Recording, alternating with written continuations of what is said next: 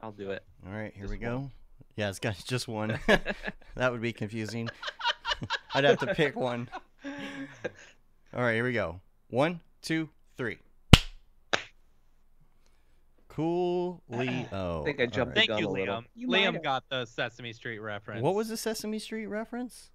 I wonder what if. Let's try. That's their new thing. That's their I wonder new. what Uh, if. Let's try. It's their new their new thing. You know, it's Huh. like, I wonder what if. Let's try. That's their new saying and stuff. All right, all right. Well, Hmm. Are we still getting echo? no, Okay. no, you're not getting echo anymore. Uh, that person might be watching behind. I'm listening to the stream. Uh, check, check, check, check. Nope, sounds good. We are good. All right, yo. Rolling, rolling, rolling. Here Everybody's we go. rolling. Are we ready I'm to do rolling, this yes. thing? Ready. I Mhm. think we should go. All right. I feel like I'm missing something. Yeah, it's because we have like no notes this week because it's only Yeah. been a couple Yeah. days. Yeah, it's because I didn't do I didn't do the the dorp. the dorp, but we got stuff for the dorp. We'll, There we'll be go. good. We got I plenty. don't feel like I'm falling off the the thing. And y'all can't see my mess anymore. My gigantic mess of my office. Yeah. See, we got to get you one of those cameras so we can see your mess. Yeah. A wide To shot. see my my disgusting office.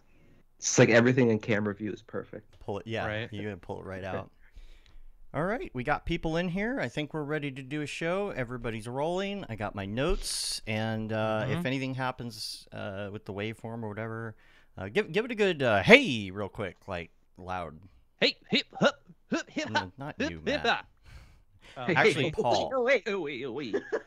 I am a little I'm a little loud. Should I bring it down? No, you're fine. You're fine. All Just keep it well, as. hey, hey, Give it a good Paul. Give it a good hey, like loud. hey. Okay. cool. Hey. I was making sure you're not overmodulating. Hey.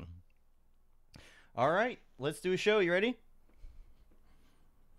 There we go. Yes. All right. What's up, and welcome to another MoGraph MoCast. I'm Dave.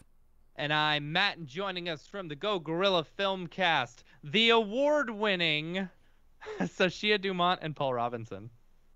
Yeah. Yeah. Hello. And MoGraph is a supplement to our site, MoGraph.com, which is a motion graphics tutorial site with tutorials, plugins, podcasts, and other MoGraph stuff. And on the show, we talk about everything ranging from motion graphics to Cinema 4D, After Effects, plugins, render engines, doing business, doing taxes, being a contractor, or working for the man. You can email us info at mograph.com. Let us know what you think about the show. Questions, comments, concerns, queries, grievances, show topic ideas, artist suggestions. We're on Facebook, Twitter, Instagram, YouTube, TikTok now. Check it out. And mograph.com. TikTok, make it stop. DJ, Ticks throw my talks. speakers up. Kids with the ticks and the talks. The ticks and the talks. Um, so we don't have too much as far as notes We are have no concerned notes. today because Today's it's a only been a short couple show. days. It's gonna be a short show. Today yeah. is a free for all. Absolutely. It's free for everyone. yeah. So That's right. uh, Paul and Sashia have been here, I believe, since the beginning, the very beginning, almost the Mhm. very beginning, and uh, so it's it's uh, pretty interesting. We've been uh, you know, we've been friends and been chatting and whatnot online for years at this point. Yeah. And then uh, you started your show, and uh, you're on our podcast network as well. So we've been Mm-hmm. pushing that. So everybody hears your promo every week if they listen to the audio version of the podcast on iTunes. And um, so uh, this is going to be a fun show. It's going to be a little different. We're going to talk about some uh, film stuff, and we're also going to talk about your journey into motion graphics and all of that. A couple week wrap up things that we have to do before we re- really get going here, though. Uh, you saw the new studio camera. Yeah. Oh, this is a part I fast forward through. But uh, if you're a camper, we got some good stuff for you here. Uh, you know, we got to week rack up, wrap give you the- stuff is good. we got to give you the updates for camp. You know, so you're ready to Yeah. go. I don't Send know. out an email. If- They'll read it. the it's thing fine. is, if Sure they will. no one will read They it. They only get their info from the show. Oh shoot! I was supposed to send out an email yesterday. What were you supposed it. to send out? The shuttle. the shuttle. shuttle oh. schedule.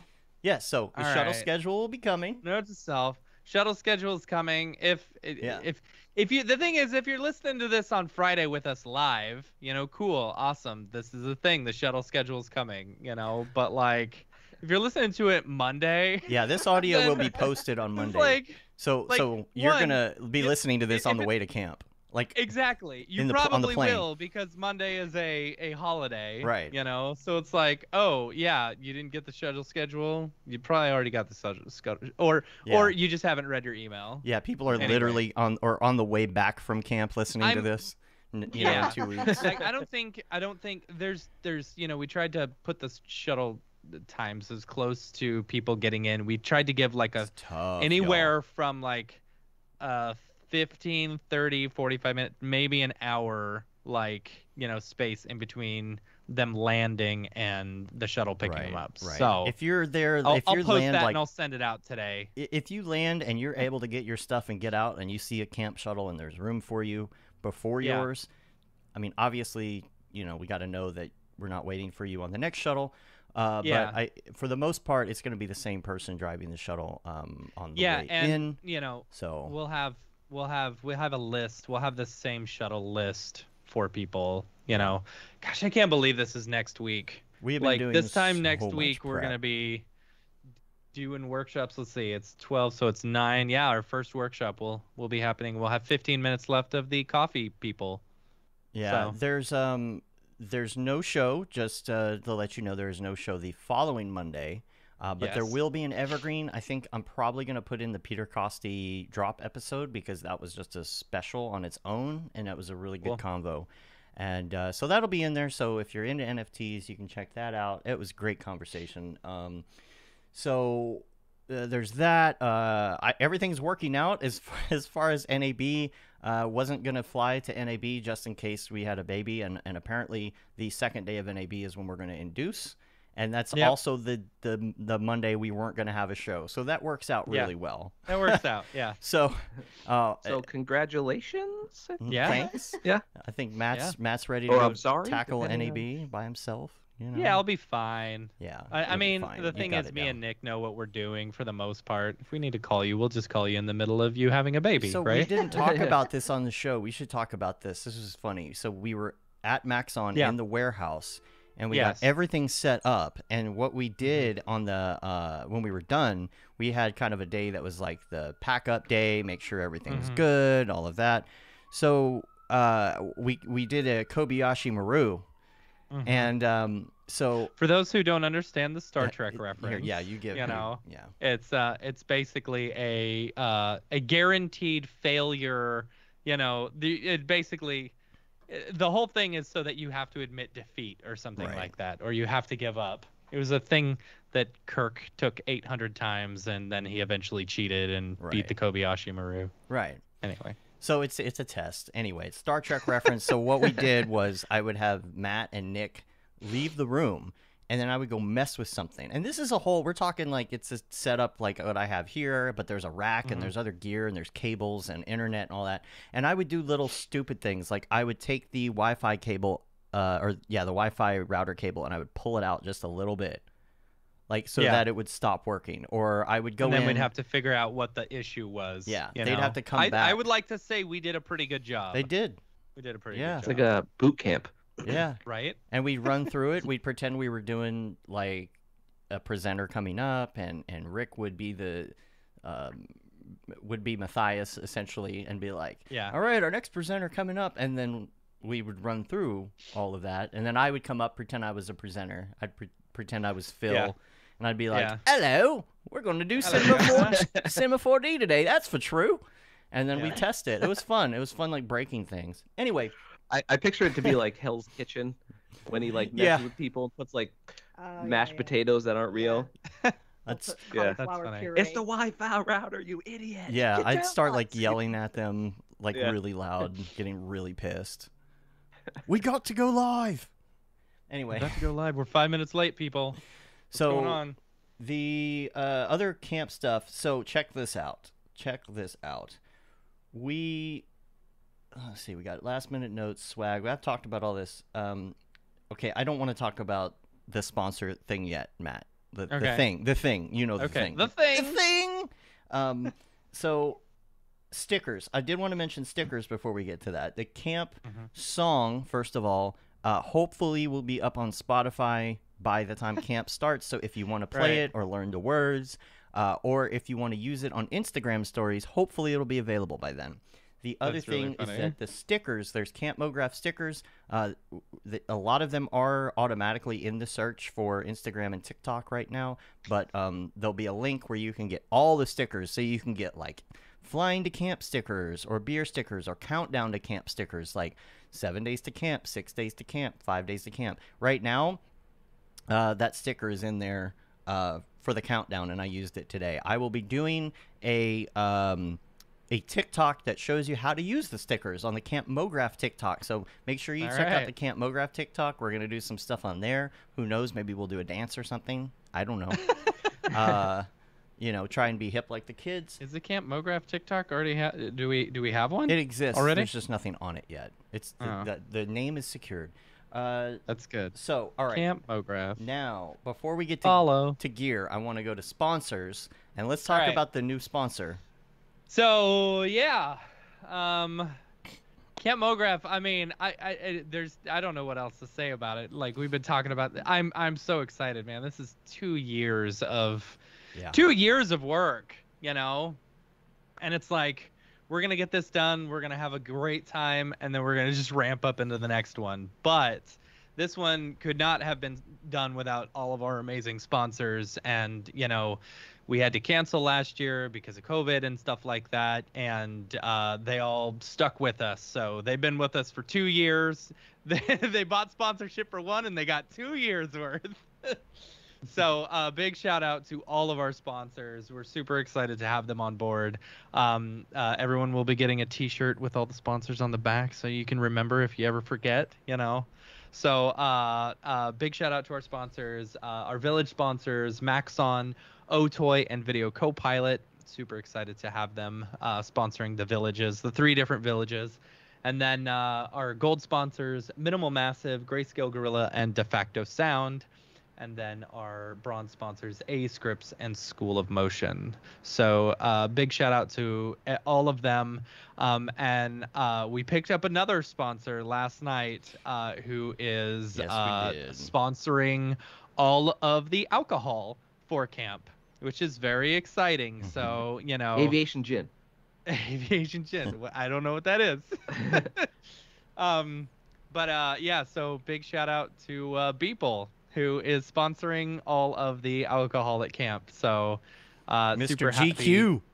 Mr. GQ, GQ. Man of the Year. You know, It's ridiculous. There's I wonder if he absolutely gets any money for being GQ Man of the Year. Does he have to know? like? Is it like when you're Miss America, where you have to do like, you know, certain? You got to show up at certain events as part of the contract. I think so. Yeah. you- Right, you and then if if he dies, does someone else take his The crown? Uh, GQ Man of the Year? The crown? Yeah. Take over his responsibilities. yeah, got I, dark. I think that's how it works. yeah, Are you Oh, are you the man. average? Are you uh? is it the runner-up? yourself up for the Yeah. job. Yeah. Yeah, are you gonna be runner-up, Matt, Uh, no. for GQ Man of the Year? No. No. Okay. Well, according to uh, Yeah, that's right. it's true. It's true. I don't have the I don't have the work ethic that Mike has. You know, to be GQ Artist of the Year. Plus, I'm not not a very good artist. Anyway, uh, so yeah, super excited to have all of our sponsors and uh, big shout out to Mike. You know, give him some love, send him some love because That is freaking amazing. You know, that yeah, he hit me up and he's like, "Hey, what's the alcohol situation?" And I said, "Get friggin' lit, bro." and he's like, and he's like, uh, "Can I sponsor it?" I, I was like, oh, "Okay, all right. you don't have to do that, sounds but good we would to love that." me. Yeah. So yeah, um, uh, well, we're getting what? What are we getting to drink? We're getting some. Oh, I don't know the. I'm not the in charge of things. the All right. alcohol. All I am in charge of is like serving. EJ had some like that. suggestions. yes. and he passed them along to Julie, who's taking care of it. Right. Everybody I think has we their got some we, we got IPAs. people with serving licenses. It's it's Mhm. you it's you and Julie and Scott Scott and Jeremy and Jeremy. EJ all got their licenses to serve alcohol. To serve like in Oregon. Yeah, to serve in it's Oregon. like it doesn't transfer anywhere else. It's just Yeah. Oregon. Yeah, and we and got it's good for five years. we got uh so we got some IPAs and some beers and things, but we also have some kegs of like Truly or something like that. Because Oh, really? yeah, there are going to be some. There's a lot of people that aren't beer drinkers, right? Yeah. A a lot of people are also health conscious and like to Mm-hmm. get that zero calorie, zero carb thing on with their Truly, get their Truly on. Mm-hmm. Um, but there's also now, because of people, there's going to be some decent liquor involved. Yeah. Now, this isn't just grab a bottle and drink it. Is this everybody Right. has their licenses? they got to do it the right way. You got to be served. You know, um, you can't just pump the keg. You got to get a pitcher Right. from a server and do it that way. So we got to can't be very loose with that. I'm you know. you, we're talking about this, and no, I mean, there's like five people in the chat who are coming to camp. You know, it's all right. in the chat. Oh well, We're just we're just practicing for uh for when we get to camp. well, people will You know. listen to this on the way. Yeah, you know. Uh, Yeah. And then you came over yesterday. Hopefully that brings up the right screen. There we go. It does, yes. Uh, you came over. I've got this table full of of crap that I'm trying Dude, to. you've get got your table ready. full, and my whole table is full. Can you show that picture? Yes, I absolutely have that picture. I should have brought up your video as well, but yesterday you Yeah. sent me this photo, and uh, you've got all the swags. Yeah, and and, what you everywhere. don't see is so that are the staff T-shirts, the camper T-shirts, the new zip-up hoodies. Oh yeah, look at that, it's so nice. Ooh. The new zip-up hoodies, but what you don't see is that there's two more gigantic boxes of pullover hoodies behind me. It's it's crazy. It's so nice of you to give all of your guests free swag as well. Yeah. Yeah. And That'll um, be so thirty-five dollars. Also, I, s- shipping. I saved this part for the end because I figured we just get into like talking to y'all about film and stuff. Uh, I got some gear that's coming with us as well because we want to get some pretty. I mean, it's gonna be so gorgeous there. We want to get some pretty footage, Yeah. and um, so I mean, I'm assuming drones are allowed, but I'm bringing my drone. I know a lot of people are as well. Um, and then we are bringing two Blackmagic 6K cameras. We've got cages, we've got microphones, all the things. So sometimes we're going to be doing stuff with our phones, you know, uh, just little things. Uh, sometimes we're going to be shooting some promo footage and things for later, you know, 6K stuff like that. We'll try and stay out of everybody's way and not be too intrusive or whatever, but, um, you know, we want to kind of capture the experience so we can show people what it's like for next time if they're deciding if they want to go or not. We're going to be posting from social the best we can, depending on our internet situation. But um, again, we're encouraging people to do a lot of stories and tag us in it so that you know we can regram them and whatever. And we take and we save all of those stories so that we can use them for promo videos and stuff. We have a, like 300 and something stories from the last camp that you can go through and see what people are doing. It was awesome. So, um, what I wanted to uh, uh, bring up was this lens that I got. So, uh, was looking through some different options for lenses. You know, there's the classic Canon 400 millimeter lens, but it's expensive AF. It's like 23, 2400 dollars, right? And 400 millimeter. And I was very apprehensive about going that direction, especially because I don't do a lot of still photography as much as I used to. And um, but I had rented one in Iceland and I really loved it. And I'm like, I wish I had a lens like that for Oregon. So I found this after talking to some uh, friends in the industry, this Sigma lens that works well for the Blackmagic and for the Canon camera, and it's a 100 to 600 millimeter lens. And it was like 900 bucks, which is pretty good. And it has optical stabilization, all that. This is the biggest freaking lens. You want to see? Hold on. Show us your lens. Oh my gosh. that Oh Lord. is a lens. Now, oh, That's not I a wonder- lens. can- That's the lens. I see you've played knifey lensy before. Here, can I? I'll show it on the. Ah, nice. Look! Look how big that thing is. It's the I just, arm. I just got to use the the camera, the new camera, as much as I can. So any excuse. Yeah. The um, the uh, this part comes out, and then you you undo this thing here, and you un, unlatch it somewhere. I see, I'm still learning. And uh, look at this. It the freaking extension, like to go to 600. That's ridiculous. Mhm. That's ridiculous. But Tell 'em it- I'm about, uh, so tell 'em pumped about to use this For, like, Connecting it to the, the 6K camera. Oh. What you had to do. So check this out. Hold on. so heavy. So check this thing out. This is really cool. So it connects to the Blackmagic. It works fine, but the automated controls don't work uh, unless you update the lens, which I haven't done yet. And I'm like, how do you firmware update a lens? Have you ever firmware updated a lens? Uh, I've no, not a lens, but I have a lens adapter. So this is interesting. So I was like, how do you update this thing? So they gave me this, and I thought it was just like a front and back cap that they just put together, like an extra cap. But I started looking at it, and there is a USB dingus Ah. on the side. And what you do is you open this up, and you attach the lens to it as if it were a camera, and then it it uses this attachment to firmware update the lens. I thought that was the coolest Yeah. idea. Super Dude, cool. the idea Clever. of firmware updating a A lens. lens. know. Yeah. You know, The worst is is is, firmware insane. updating an Xbox controller. That's the Yeah. that's the worst firmware update. because it happens right in the Man. middle of a game. yeah. Those, those, that is the worst. So we're gonna talk about you now. We're into camera mode. We're into film mode. And, Yeah. and Yeah. we're gonna introduce you to everybody on the stream, and we're gonna talk about film. We're gonna talk about your show, and then we're gonna talk about uh, journey your journey into motion graphics because you've been dabbling all these years as you were doing film stuff, and now True. and now you're like you're really You're hitting in it. Still getting dabbling. these NFTs and man. So, um, let's start from the beginning. Uh, Uh, tell us about how you got into what you're doing and what your jobs are now and how you met and I'll just keep going. I'm sure you'll forget after Yeah. if I just list them like that. But Or we could just talk about some cool movies you've seen lately. no, that's for the recommends section. Uh, yeah, that's later. Yeah, that's We've already Picture done it. recommends with them, haven't we? 1976. No. 1922. 1922. yeah. Oh, you can't mess up a Golden Girls reference I in the know. beginning of an interview. No, I, I um I luck. started making really bad horror films with my friends with like a, a Best Buy camera, like so many people did. Mm-hmm. And uh, I just fell in love with it and just kept doing it, making them just bad, just bad, bad, bad. bad Digital films. eight or mini DV. mini DV, Nice, nice. and then eventually I got like a real camera, which was at the time a DVX 100. Mm-hmm.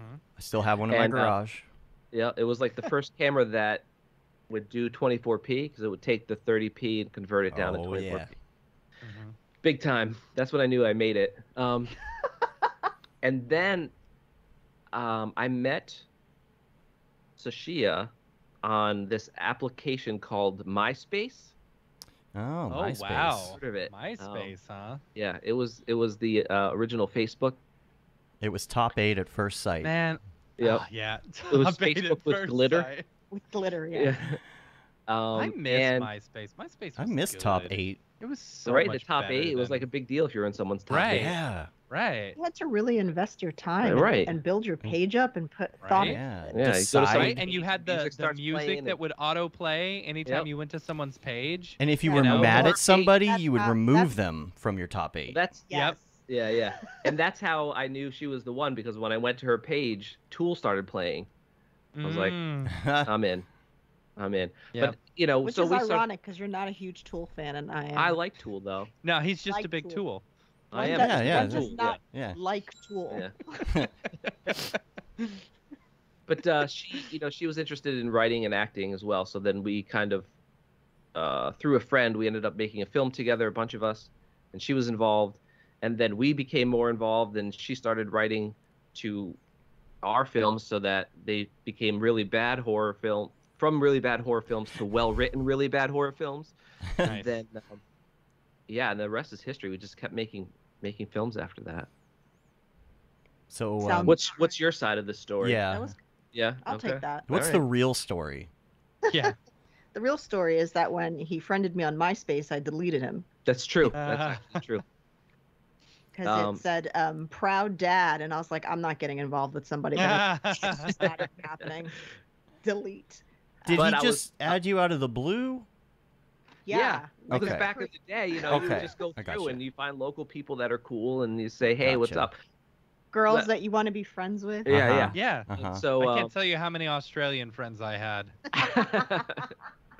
but I was also I had the wherewithal to send her a message as- along with the friend request, Mm-hmm. make it personal, you know, real Mhm. personal touch. Yep. And then if it wasn't for that message, that would this never would have happened. Yeah. Yeah, and that You're message. What was Paid that message? Promote it on. Yeah, promoted. Promote I'm it on It is DM NFT. Yeah. I I would know. love to be able. I don't even Yeah, yeah. remember any of those passwords or anything. I don't even know how to if that's even still there. Yeah. I wonder. Yeah, you should frame that message. I'm very worried it as an that that someone will find my MySpace one day and see all my angsty, Yeah. like, uh, uh, freshly broken up with uh, Yeah. blog posts. Mm. They are man. not good. Yeah. Oh, it would be that would be really interesting to be able to get into those. I know. Archives, if you wanna- will. Super Yeah. depressed and posting random, you know, They're my, out there. my Chemical Romance songs and right? yeah. Yeah. So, uh, so yeah, y'all met, yeah. started doing stuff and things, and uh, Yeah. started doing um, the films together. Now, how has your process improved over these years? Because I'm sure your your your process, the writing, the acting, the lighting, the gear, the, all of that has uh, improved. I mean, money helps. Yeah. Yeah. Yeah. You know, um, having One no might say it rules everything around us. cream. Yeah. Oh. um, yeah, having going from no money to uh, some money that we probably sh- shouldn't be spending, but we're going to do it anyway, Mhm. made a big difference. Like when we knew we were starting to head in the right direction when we went from Home Depot lights, construction lights, to actual Yep. Right. cinema lights. That's yeah. when we were like, okay, this might this might be happening. Because the prior first to that, time you buy like real equipment, yeah, you Yeah. know, it's Yeah. like, oh, w- we've made it. we've Uh-huh. made it. And then you realize that you're you're addicted to it, and Yeah. Yeah. it's yeah. hard Yeah. to stop buying equipment. You get Yeah. that gear acquisition syndrome. Yeah. Yeah. there's Mhm. like a general rule that whenever he says, "So I've been looking at this thing," it's never under five hundred dollars ever. Like That- I'm always yeah. like, I can't wait for him to be like, "There's this thing I'm looking at, and it's about a buck fifty. and I'm like, "Get it." Yeah. Yeah. Gear acquisition syndrome. Gas. Yeah. Yeah. Hey, honey, I got gas. I got gas. The good kind or the bad kind? I don't know which one's the bad kind. Yeah. Luckily, I or unluckily, I have both. So. oh, there you go. Uh, Um, ding, ding. There we go. But yeah, it's it's kind of funny though how you know any kind of like artistic endeavor is always so GD expensive, and artists are always the ones that seem to be suffering. You know, in terms of like trying to make revenue on their art. You know, Yeah. it's, you know, computers and cameras and and all this Mhm. stuff is so expensive, and it's like, But it is more affordable now. When you think back sure. on like those, oh yeah, you know, MySpace times, think about the lights. Number one, think about Mhm. like if you wanted to get good lights, you had to get those tungstens, and they were hot Mhm. and bulky and heavy. And now you can get like a sixty dollar LED light, Yep. You know, Yep. and just throw Sixty it somewhere. dollars, sixty dollars, thirty dollars right behind Battery me. powered. Yep. Yeah. even cameras. You know, you're talking about the Blackmagic, the 6K you have. I mean, you can get the 4K 2K. version for like two grand or something Yeah. like that, Mhm. and it's like it's still a lot of money. Don't get me wrong, but in Shoot a whole comparison film to on my what, phone, dude. Yeah. yeah, Yeah, it's Yeah. two grand, but like it, it's a two grand entry barrier to entry to to having access to 6K raw, broad, Mhm. like oh yes, my gosh. but what y'all like, aren't what talking about is all the accessories that you've got to purchase, uh, like 2K, Yeah. and then you're talking, okay, let's get some lenses. We need Batteries, yeah, storage sure. for it. You're gonna be able to edit it. Okay, you need a computer as well. But you the know? computers are more affordable and do more for less now. You know, if you want to just edit with like Final Cut Pro or Premiere or something, you can get a laptop. And I mean, you couldn't even do it on a laptop back in the day. yeah, So Yeah. It is a little more affordable. It's still expensive, but it Yeah. is more it's affordable not, than it was. It's not as expensive as film school though.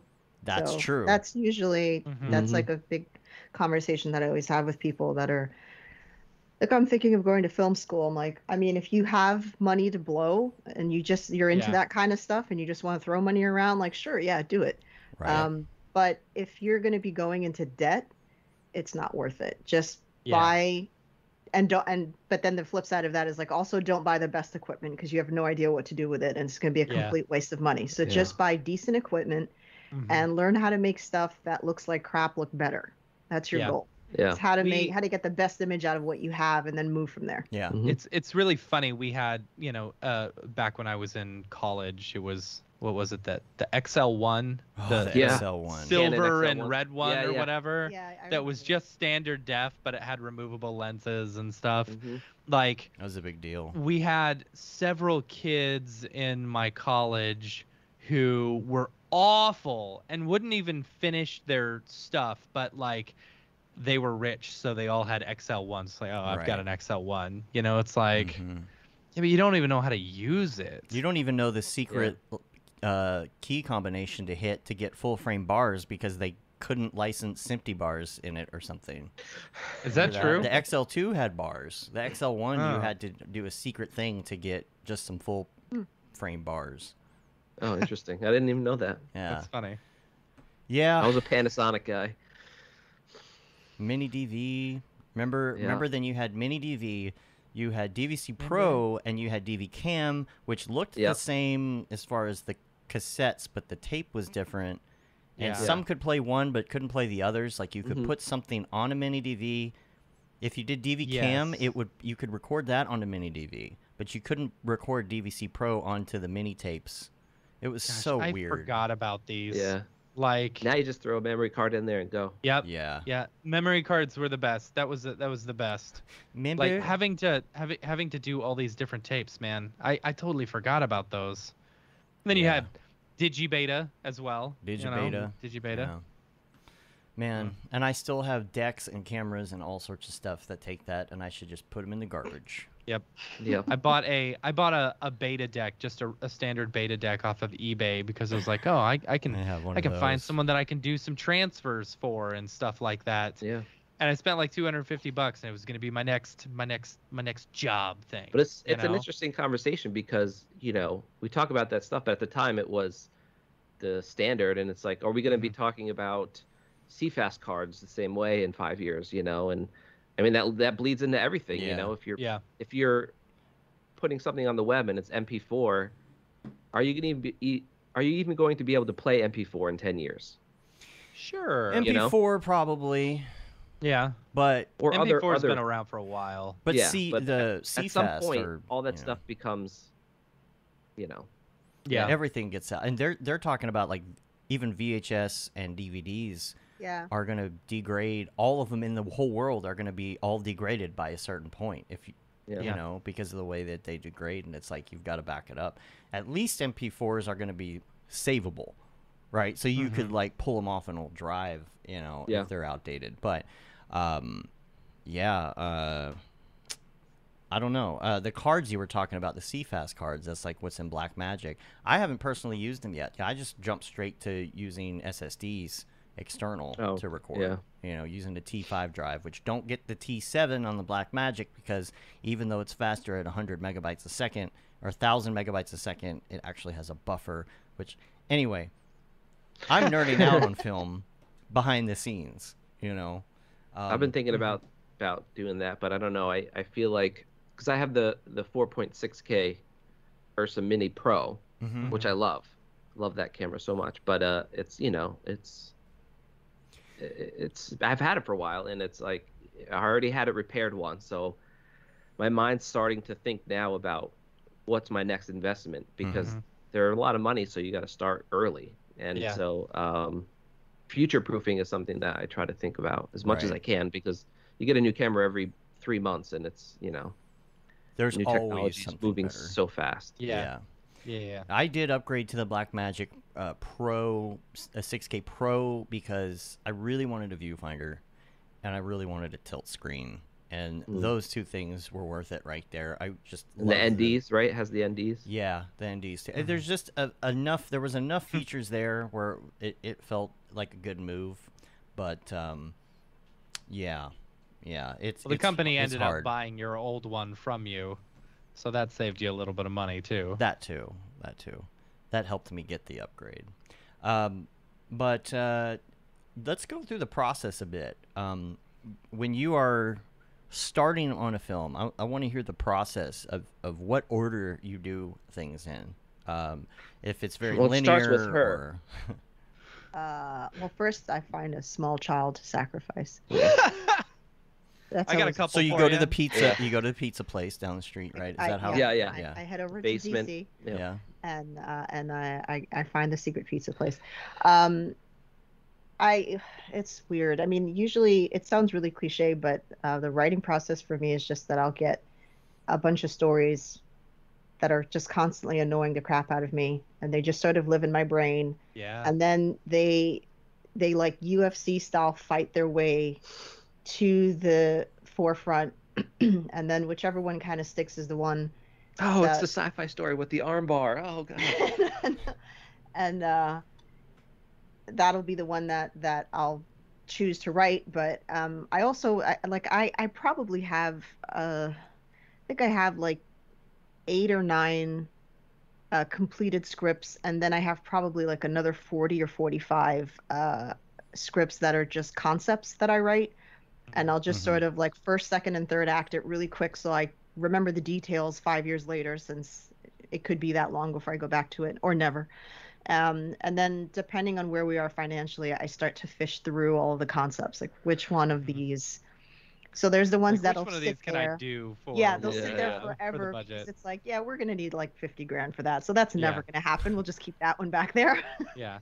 and then sort of, you know, uh, bring them up, and and that's uh, that's usually like from there. He's just like, let me know when you need me, like when the script is done and we're in pre-production, and then that's where he jumps in. How do yeah, you? we de- kind of Sorry. no, yeah. So we kind of, we have like we both what we both focus on. You know, we have certain areas that we both excel in.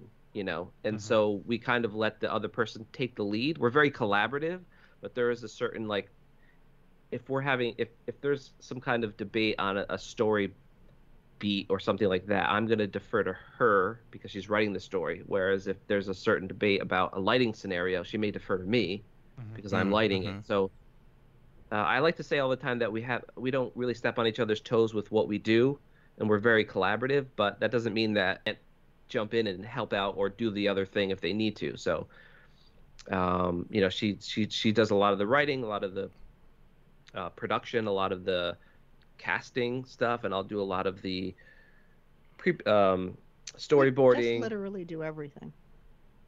No, I just I just do the storyboarding, the directing, and the cinematography, and the And the editing, and the, the audio, and the color grading. That's it. I mean, it's not that much. That's not. Yeah. I, I do all the other stuff, and then usually on set, I'm also yeah, stopping uh, midway and doing craft services. Yeah. and acting. every- acting. Mhm. And then, yeah, that's all. So I'll Yeah. we'll set the schedule so that my scene will end at the right time, so that I could get Yeah. out of costume and then into an apron and then over to the Mhm. kitchen to feed everybody for lunch, and then the same thing for dinner. So um, sets are usually exhausting. Yeah. I can imagine. How do you decide though? Like, how do you decide? Okay, this is the script because if you have a bunch of them swimming around, and you know, besides technical or money reasons, right? Besides that, besides like, oh, we can't do this because it would cost fifty k. It's a big decision to make because you're gonna make Mhm. that decision and move forward. It's almost like every single one is like starting a mini business, right? Like, hmm Yeah, it's going to be Yeah. a long journey to get from point A to point Z on on that entire thing, right? Like it might be a Yeah. year, it might be 2 years. Won't be two years. it won't be two years. Yeah. We're uh, we're the worst. We're really fickle with that because it's by the time the film is done, we just hate it and we want to move on. I mean, that's kind of with anything we create, but Yeah. It's like it's Um, like making a, a daily. Yeah. yeah, Yeah. Yeah, make, the- making the- a, a, a, a You, you hate it by bi-yearly. Any project, you know. bi-yearly, yeah. Yeah. Yeah, I, I don't know. I mean, I think it's it's more, you know, you know how kind of every year you go into a, a mood musically, and you really just start listening to a lot of this this specific year, and then you just, you know, and then you start going back into other stuff. That's how it is with me. It's like, what have I been watching this year that's really sticking out, and Mhm. what mood am I in? Mm. And yeah, um, that'll be what we pick and then you know then i have to filter through that as in terms of finances what is feasible and so um, our last film was just i had always wanted to write something that was cult related i've had uh, a fascination with the just just the psychology of how people join cults how otherwise incredibly intelligent people get sucked into it and so um, that was that was just where I went with that. I think the the biggest challenge for me is always kind of I I live in between uh, wanting like giving a shit and then not giving too much of a shit. You know what I mean? Because I uh, I like I love movies that make me think, Mhm. and um, I love being able to finish watching a film and have ten people in a room have five different interpretations of how that could have potentially ended and what was really going on, and be Mhm. able to start that conversation. So Mhm. I've been told that my writing is really confusing and you know um, i've gotten the weirdest interpretations of of my film and i'm like what corn how did we get what it, it was a cornfield right like what are you talking about Yeah. there was no cornfield like, um so And then you say, as an award-winning writer, I cannot Ugh. take this anymore. uh yeah so it's it's i like to kind of hear what people are going to say but so it's like I, I have to be cognizant of the fact that i don't want to confuse people to the point where they're like i'm never watching your stuff again because i don't Mhm. understand it. Sort of towing that line uh, but of also but also being able to say this is how i want to write it. And uh, if you don't get it you know you don't get it. I don't know. Too bad. Yeah. Do you you mentioned that like you're paying attention to what people are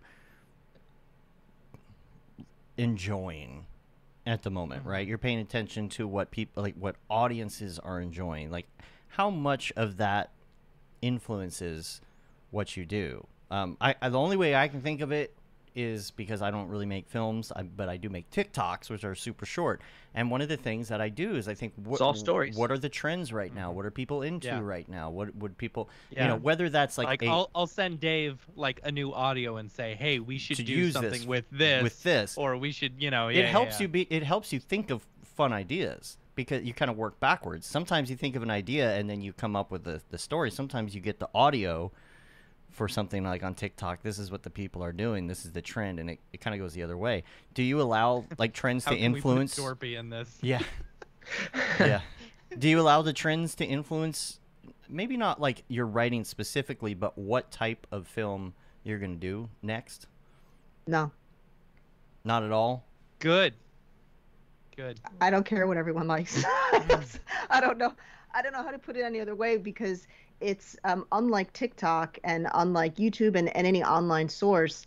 Um, the indie film world is so different from Hollywood. It's a completely Yeah. different thing. So whatever's trending in Hollywood, it's irrelevant once you get into, you know, micro budget filming and those film fests. Um, if somebody were to do that, I, I feel like that would actually work against them because a single film fest isn't going to want 17 sci-fi movies if that's what's cool Yeah. that year. Yeah. You want to stand out, actually. Mhm. So Yeah. Yeah. Um, That's just make whatever you make. yeah. Yeah. That that said, there are certain kind of um, genres, for lack of a better phrase, that play better on certain platforms. You know, you know, if you're Mm. putting stuff on YouTube, putting a 30 minute drama isn't going to gain a lot as much views as a, an eight minute sci-fi spectacle. You know, right Mhm. um, so that and not that you should write towards that, but it's just good to know that. So if you're making some like we our last film was uh, uh was a 30 minute drama and that's not going to play on YouTube, so you know we put it out to festivals. She won an award for it. And, um, You know, it's good to recognize that what audience plays that would play best for and kind of maybe focus a little bit more on that. Not that you shouldn't release it everywhere, but having that focus can help, you know, get the most kind of like mileage, I guess, for lack of a better phrase, out of the Sure. film. Right. It's hard to find a balance for me sometimes between like, okay, what is what do I want to do and what is everybody else expecting or what does everybody else want to see? And mm-hmm. and you don't want to you don't want to compromise your creativity, you don't want to compromise your own vision, you don't want to compromise your goals. But you also want to be successful, you know, and and you also want to make money and and things. Um, but that being said, there it, it is true a lot of the time. I think that like even if you're not getting traction in certain things, it, you try different things. One of them is gonna one of them is gonna stick.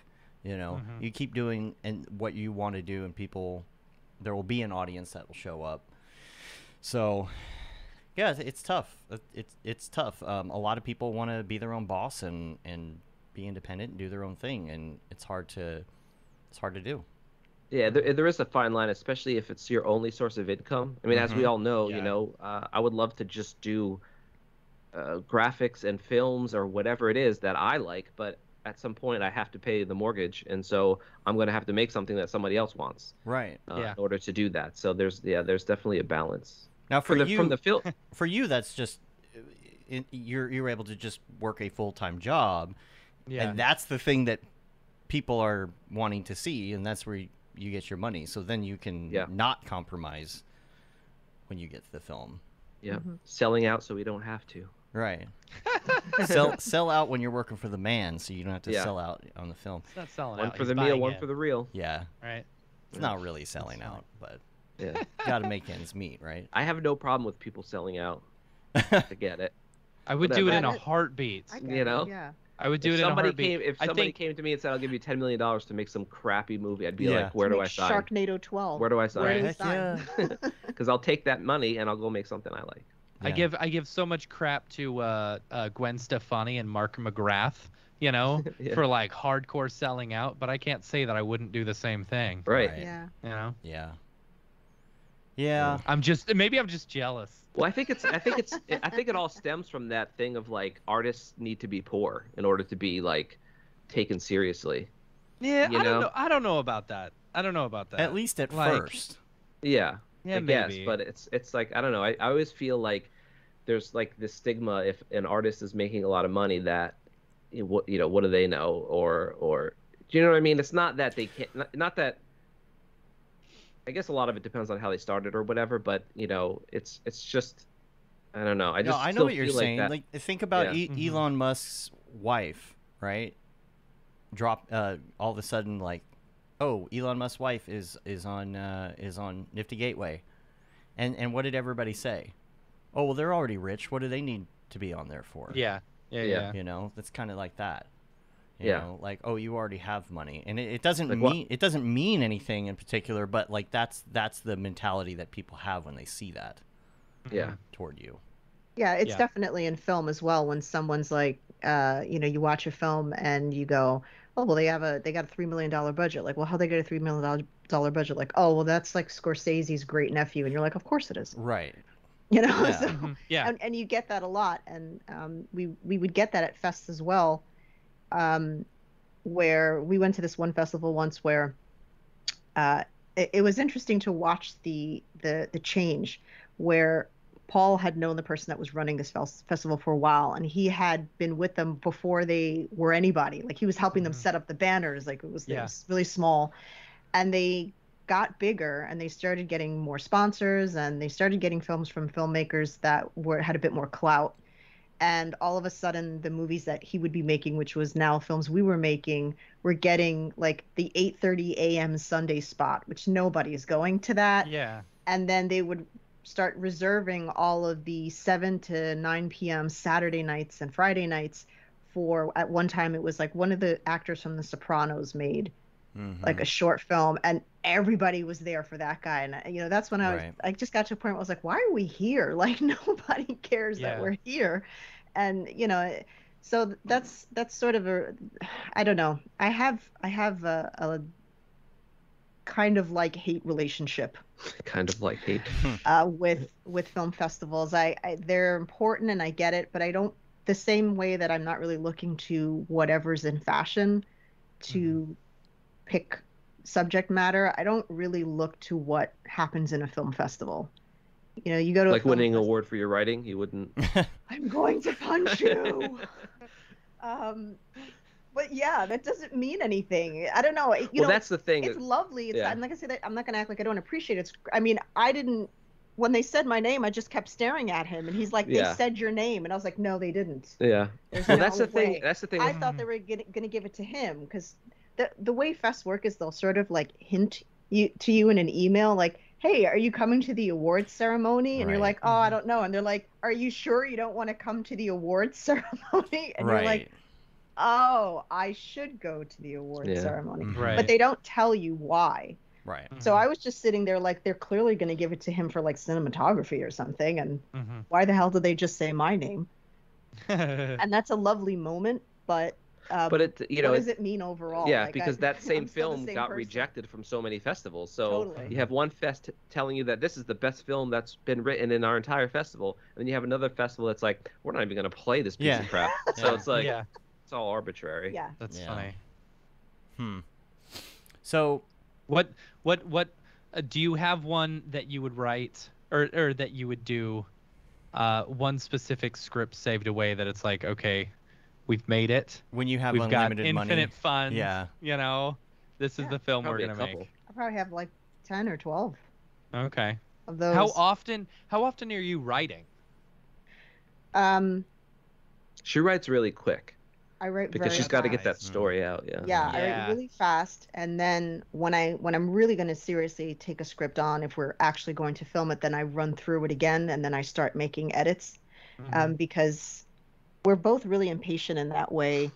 yeah Uh, when I hear people's like, "I've been writing this script for eight years," I'm like, eight years? What? How Yeah. could you still care about that after Right. eight years? I would, Yeah. after eight weeks, I'd be like, like I'm I'm over it. you got to get um, the idea out of your brain i get that yeah, you yeah, know I just, like I I had like one or two stories that I wanted to write, and this is back when I was working for the man, you know. And every single day I was driving to work, I was thinking about this Yeah. stupid story. I was like, I gotta write this, I gotta write this, I gotta write this. Finally, I was like, I'm writing the story, and I did it. It, it was like over the course of three or four nights at home, and I it was like a 90 minute script or 75 or 75 page script 90 minute script or something like that and then i sent it off to my friends and they were like i hate it you know and i was like okay well at least it's out of my brain Yeah. do I you- but that, get that. but that but that brings up another good point in that um uh is that like that feedback that you're getting from your friends mm-hmm. you know because you so so often this is something i harp harp on about is so so often your friends are just going to be like oh it's you made something it's so cool and i appreciate Mhm. the love for that but you know for me anyway i can't speak for everybody obviously but for me that having that honest feedback from somebody is so much more valuable than anybody telling me they love something i Mhm. did just Right. because they don't want to offend me or you know Totally. they whatever reason because if like she says it all the time if 10 people tell you that i didn't understand that part of the story well then i need to focus i need to think about that part of the story maybe it's not Mm-hmm. portraying what i want and that doesn't mean that you have to change it but that you have to think about are you really relating what you want to put out there properly yeah yeah do you outline a lot before you Yeah. write? Uh, yeah, but I also I also write out of order.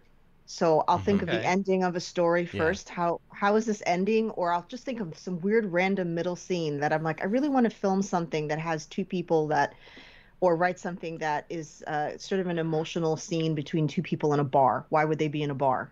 How did they get to the bar? Who owns Yeah. the bar? And then I just sort of like walk work out that way. Mm-hmm. Um, but sometimes it'll just come first, second, and third. Like it's just it's just whatever way they pop in there. If somebody was watching me while I drove, they would think that I was uh, like that I had complete personality disorder.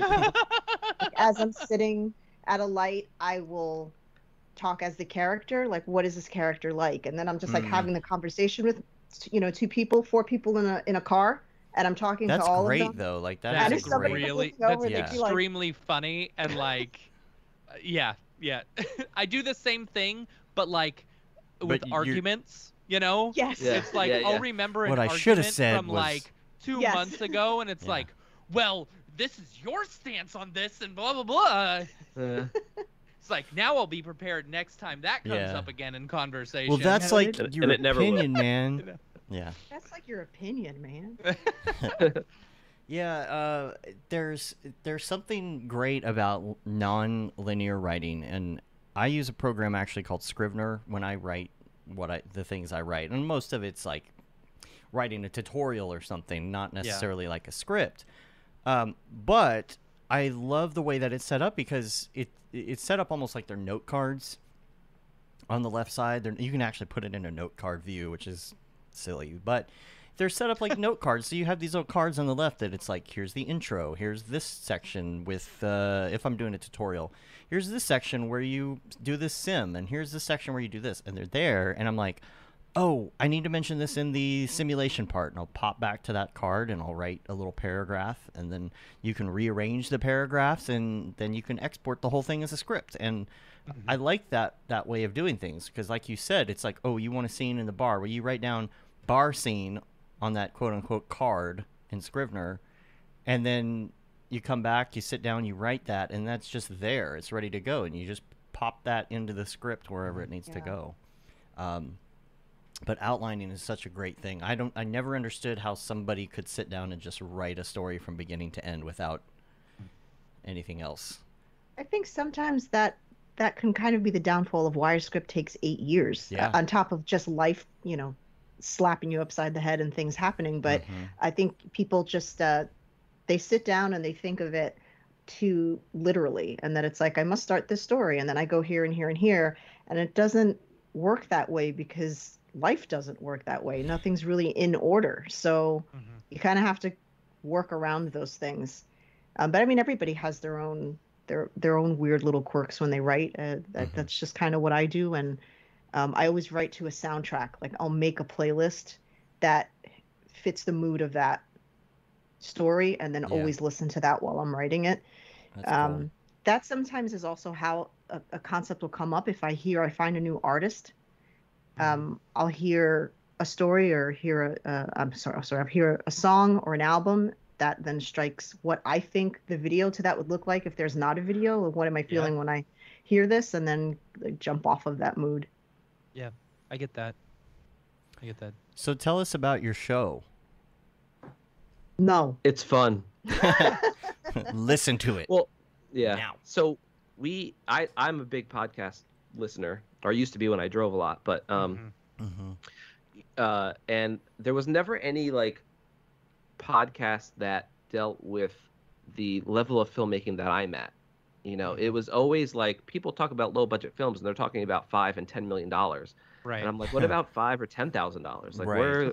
what about you know. five hundred dollars? Yeah, five we've made films dollars? for that re- Yeah. recently, and so um, I wanted to have, I wanted to start one that came from that perspective of like people that were making films on our on our level, but also like rolling into that because we do we talk and we have guests on, uh, but I also we also wanted to kind of give our thoughts on films from film from people that are at our level of filmmaking as well Or you know, higher. or higher, yeah.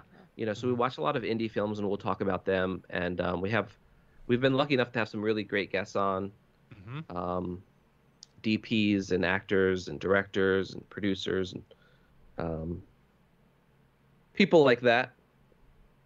Yeah. Um, but yeah, there was, you know, there was no, there was nothing for that, and and then we filled that niche. Hopefully. What we tried to. what was who has been your favorite guest so far? I mean, besides us, Uh, of course. for me, it's been Lou Taylor Pucci, easily. Yeah, easily. you're very yeah. you you Um, actually say that on the trailer, don't you? Don't you say that name on the trailer? Lieutenant- Yeah. yeah, so, I think so. yeah. He was he's such a wild guy. We we we we don't do video, we just did the audio, but his whole interview, he was in a cowboy hat and no shirt. And he would just like get up and walk away randomly and come back and finish the conversation. Oh my gosh. It was such a and I'm like I we had him on because we because I'm a huge fan of his work. I think he's like one of the most underrated actors out there, but he um he uh yeah, he was a blast to talk to. That one actually I don't really edit uh, the podcast a lot, you know, because we kind of just go. Yeah. Uh, but Same that here. one I had I to don't edit a lot. Yeah. We Yeah, because he walked away. Something, and he would just get up and walk away, and we're like, "What is he doing? Are doing? we done? What's happening? What is he doing?" um, yeah. oh, I don't know. But we've had Jessica Lee Gagne, who's Yeah, she's a gonna favorite of ours. She's a my- DP. My favorite would probably, if I had to pick my favorite, ooh, um, Jessica Lee Gagne and Jody Lee Lipes Yeah. are two of my, like, actually two of my favorite cinematographers who have, and- and it's not like that have only done ten thousand and under budget films. Like Mhm. they they do amazing work. And when I reached out to Jessica Lee, I was like, "There's no way she's gonna answer me back." Mhm. and she did Hmm. and she was like yeah sure so she came on same thing with jody lee lipes i, I spoke with uh, with his um, representation and then his manager and um, they they hooked everything up but i think that uh, we were under the impression that it would be impossible to get people of this caliber on the show, but a lot of people don't think about DPs when they watch films. And I think that for DPs, they're like, you want to talk to me about something? Right. I wasn't the director. I didn't Yeah. star in it. Uh, okay. And that usually seems to be the, the, the confusion with them is like, they're like, why? Yeah. why would you want to talk Yeah. to us? Um, uh, but we watch movies so differently. But the average moviegoer, I've said this before, most people don't know that directors aren't DPs. Yeah. They think that they're running the camera and they're, and some do, but that's Mhm. certainly not the norm. And Mhm. so I don't think that the average person thinks about the fact that there's somebody on set that specifically specializes in getting those visuals and is in control of the lighting for that. Yeah, Mhm. and it's incredibly important. Mhm. Do you? Okay, well, first of all, I, th- I think it's good that we talked about some of your favorites because I feel like if somebody wants to listen to your show for the first time, those are the ones they should probably grab, you know, and check them Well, out. those right? those are the ones I was fangirling the hardest on. Yeah. Are those the best not- episodes then? Like, what what was what should you should somebody listen to for the first time? Oh. Um, I I mean, it's gonna de- that depends on the person. I, I guess. would yeah. actually say Ryan Connolly from Film Riot, Yeah. um, Mhm. because he was he's a a, big was a good reason why we started thinking about doing this type of pod- podcast because he was so helpful in that process of of learning how to improve on filmmaking. Uh, if you are interested in film and you've not heard of Film Riot, you really should check the show out. And we're like old school. We used to watch it like weekly on TV, you know, watch it on the TV. And, and you know, he always has such uh, really helpful notes and they're hilarious. Him and, and Josh are hilarious and would do all these great skits. And um, so Yeah. he was another person that we're like, he's not going to be on the show. And so when he was, um, it was really interesting because there were some crazy things that happened on his set that we would have never known Mhm. because you just assume, well, it's Ryan Connolly. He's probably got that all figured out. That's what that's what Film Riot is. And no, Spoiler alert: None Yeah, of us have alert. anything figured out. Right. yeah, Yeah. spoiler alert. There was disasters that he had to get through, and so that, that I would say start there. Yeah. Cool. Do I any- really enjoyed the Valentina V episode. She's great. Yes. She's yeah, great. she's I. Yes. What, it's so funny because I found I found her on TikTok of all places. Mm-hmm. You know, I Hmm. guess the algorithm knew that I, you know, liked production and stuff like that. And so I saw a bunch of her stuff that she did. So I started following her. Then I started following her on Instagram. And then I hit you up, Paul, and I was like, "Hey, you should have Valentina V on." You're like, "Dude, we already did." I was like, "Oh, okay, sweet. I'm gonna listen to that episode." shows right how much you listen, Matt. right. Do you Uh, have do you ever have any people on the show where it, it leads to a possible connection, like a possible Yeah, actually, we collab had or um, something?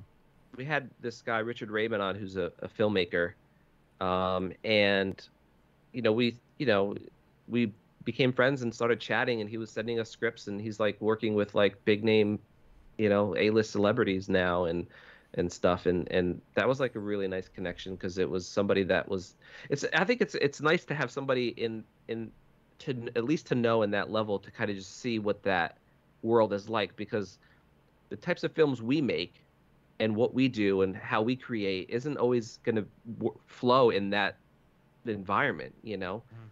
and so it's i think it's good to have that if you're if you're able to kind of connect with somebody that uh, is is at that level just to kind of get a feel for it if it's even something that you would enjoy doing because i often wonder like am i going to enjoy making a huge budget film as much as I enjoy making the films we, Right. we do now because of all the like we had a we had a guest on and they were telling us that they wrote a film and they were directed it a couple million dollars and they couldn't even cast who they wanted in it. They had to cast who the studio said because they needed marketable Yeah. stars and blah blah blah. Yeah. So, Mhm. you know, there's you know, the more money, the less control. I mean, it's Yeah. kinda- Yeah, unless it's like your personal money, I guess, right? Like Right. yeah. somebody else's money, they're gonna want to control things. But yeah, you lose your ability to control all of that stuff at that point. So Unless you're like Chris Well, Nolan or something. Yeah, the amount Yeah. of freedom is the amount of freedom is offered up in terms of how many asses you can get in the seats. Basically, if you're the kind of filmmaker that no matter what you do, if you are, uh, you know, Quentin Tarantino is one of my favorite directors, and he he pretty much he he- he doesn't come off come off as the type of person that's like, oh sure, whatever you want to do, you know. Right. Um, Let's do all the things You wanna do. You want to do. Yeah. so um, yeah, you have to sort of be in that that caliber of filmmaking to, and even still, you're you're kind of fighting nitpicking small things here and there. But Scorsese still has to fight to get what he wants Scorsese's sometimes. had Yeah. to fund his own films because studios didn't think it was going to do well. Um, Mhm. Silence, I think, was the film that he did, um, and uh, he put a lot of money into because it was out of his, you know, what people really know him for. Mhm. Right. And uh, I always like that. I always, I always like when directors sort of Yeah. Move out of their comfort zone and do something different. Shutter Or any Island- artist, really. Yeah, Shutter Yeah. Island's one of my favorite films that most people don't associate to Martin Scorsese. Mhm. Um, but I, I mean, I like his gangster films too, and you know, and all of that. But for me, Shutter Island was amazing, and and uh, I, I think like that, that. people have to like be allowed to maybe flop sometimes. We we talk a lot about M Night Shyamalan. yeah.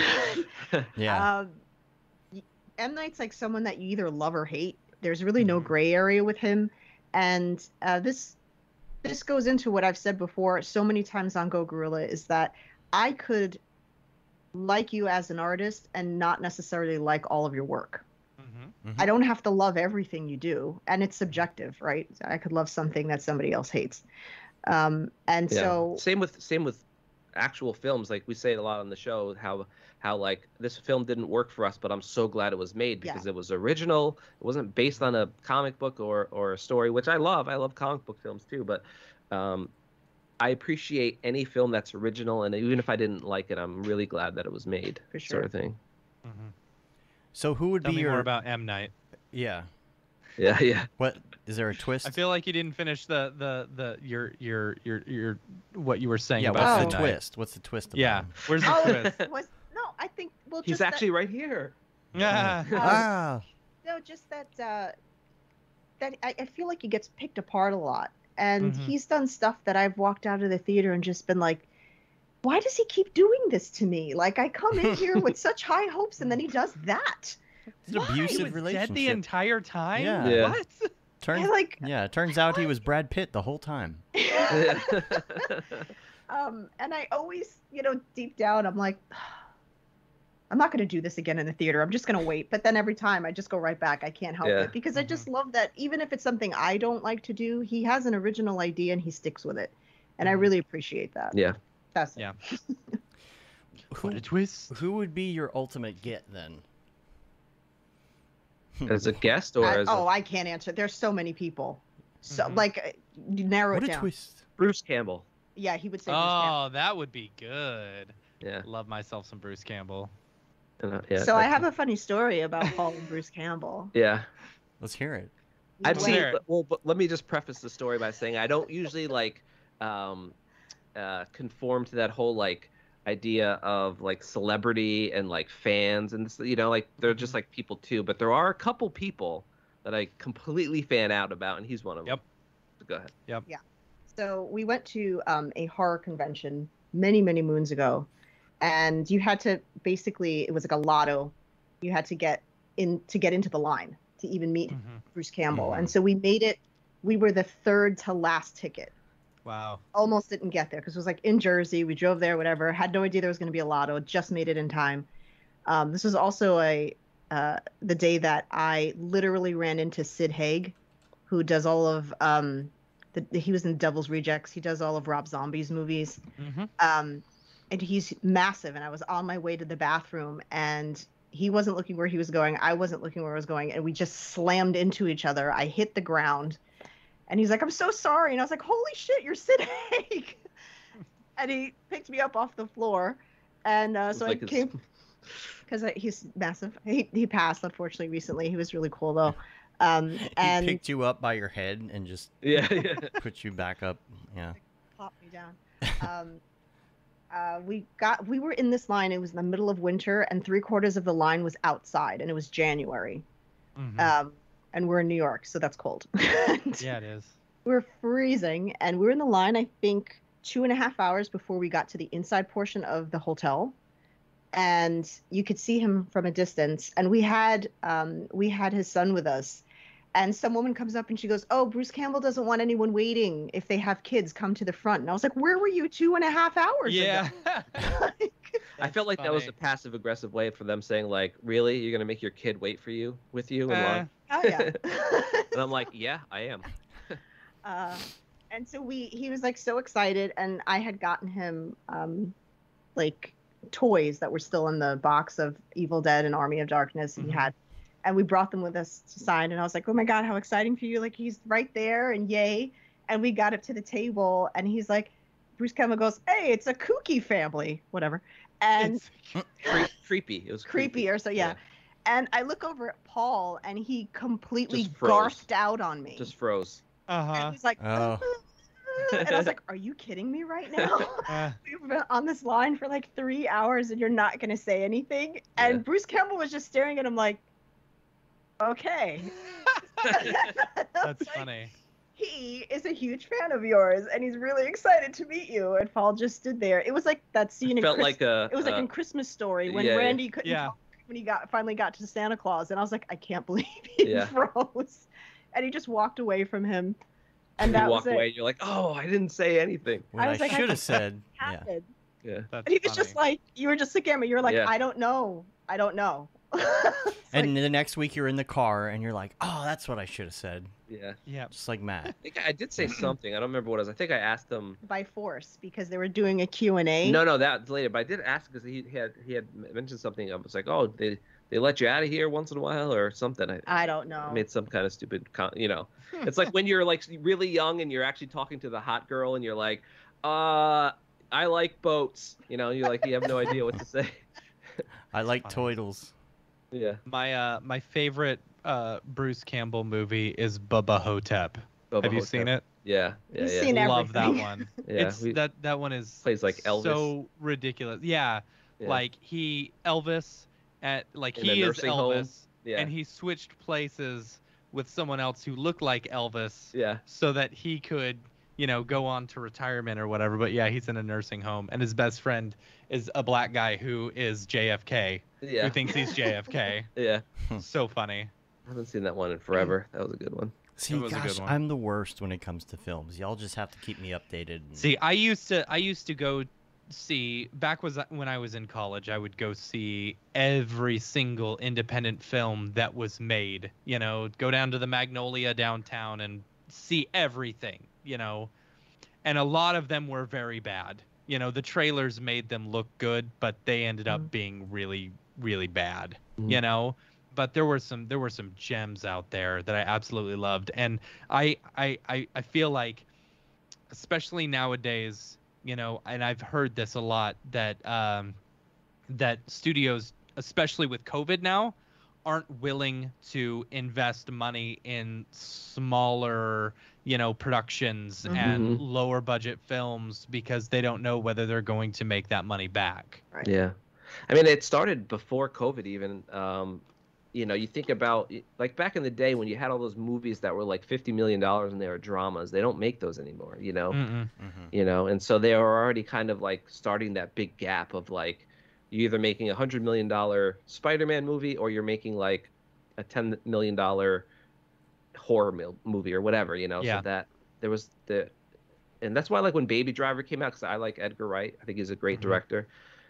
Baby Driver was like a thirty or forty million dollar. That was just like an original story, and so it was good to see something like that come out. But you need someone like Edgar Wright to do it, you know. Otherwise, they're not going to give it to anybody. Yeah. So, uh, I can't believe how fast we're flying through this. Um, I know. it- it's already been an hour and a half almost. Um, I wanted to. We're just that goddamn interesting. no, it's just when you're when you're having great conversation Yeah. with friends and good people, you know, there's been a few shows where we've had to really give me push. more, you know. Come on, like, I I don't talk to to make us. to talk That's about why we didn't need we knew we didn't need any notes. Right. We didn't need any notes Yeah. for the show. Tell us Yeah. about the motion graphics or 3D or VFX side Yeah. of this. Yeah, why why I, I mean I, I can only assume that like especially having the same type of background you go into production and then you're like, Oh, I need to edit this and then you're like, Oh, I need some special effects. I'm assuming that's probably the same path you took. It's exactly that path. Yeah. Because uh, I grew up in a small town, and so I didn't even know anybody that could do it, even Mhm. if I had money or, or whatever. So I had to learn it all myself, by myself. And then, um, you know, I went to the uh, Andrew Kramer School of uh, Visual Effects, Mhm. like most people, and that's Mhm. where kind of it started. You know, and um, That'd be a was good shirt. Yeah, Yeah. I, I graduated from like on the back of your car, Mhm. University of Andrew Kramer. Yeah. Um, That's funny. uh, but then, but my big thing was always like I never wanted to do that specific tutorial. You know, you see people do the Yeah. tutorial and they do this exact Fly halfway from through the space. tutorial. I'm like, yeah, halfway yeah. through the tutorial, I'm thinking like, well, what if I do this instead? And then I'd like never make it to the end of this tutorial because I Which wanted is to do good. something. That's a, Yeah. that's Mhm. perfect. It teaches you what you need to learn. You don't end up with the same result as everybody else. hmm You can Which put it on you your can reel. put it on your reel. Yeah. yeah, Yeah. yeah. Some of my reels though, whew. Yeah. Wow, They're rough. that's My current yeah, reel. it's all of us. Yeah. yeah, True. yeah. Seriously. Yeah, that's I, how um, ours is. but then I started like you know putting my work out there and then getting responses from like people that would say, "Hey, can you make me something for a dollar?" And I'm like, "Yes, a dollar, I'll do it." Mhm. And then it just kind of snowballed from there. And then you know I started getting, um, The first thing you Freelance ever and- really made was um, a 2D castle. yeah, Mm. You made like a 3D A, castle no, or two and a half D castle, I think it was. Mm. yeah, it wasn't 3D. It wasn't complete 3D, and it was like the worst looking thing ever. But at the time, like I didn't know any better, and he didn't know any better, and he was like, "Look, I just built this whole castle. Is this not the coolest thing ever?" Yeah. that was like 14 years ago. But that's Yeah. the thing. Like, if you're able to get into it and you're doing indie film, that's going to be the best way to get the Mhm. shots that you want because you're not going to be able to pay somebody to do these extravagant things. Yeah. One Uh, one of my favorites, uh, one of my favorite directors, writers, whatever, uh, is um, I can't remember his name. Um, jeez, uh, he did What they make. Godzilla and Star Wars. Which Um, Godzilla? Gareth Oh, Gareth Edwards. Edwards? Star Wars. Gosh, yeah, yeah. Gareth Edwards, seeing him speak at the Adobe booth uh, Yeah. years and years ago, for with like seven people in front of him, you know, like Mhm. completely changed my career.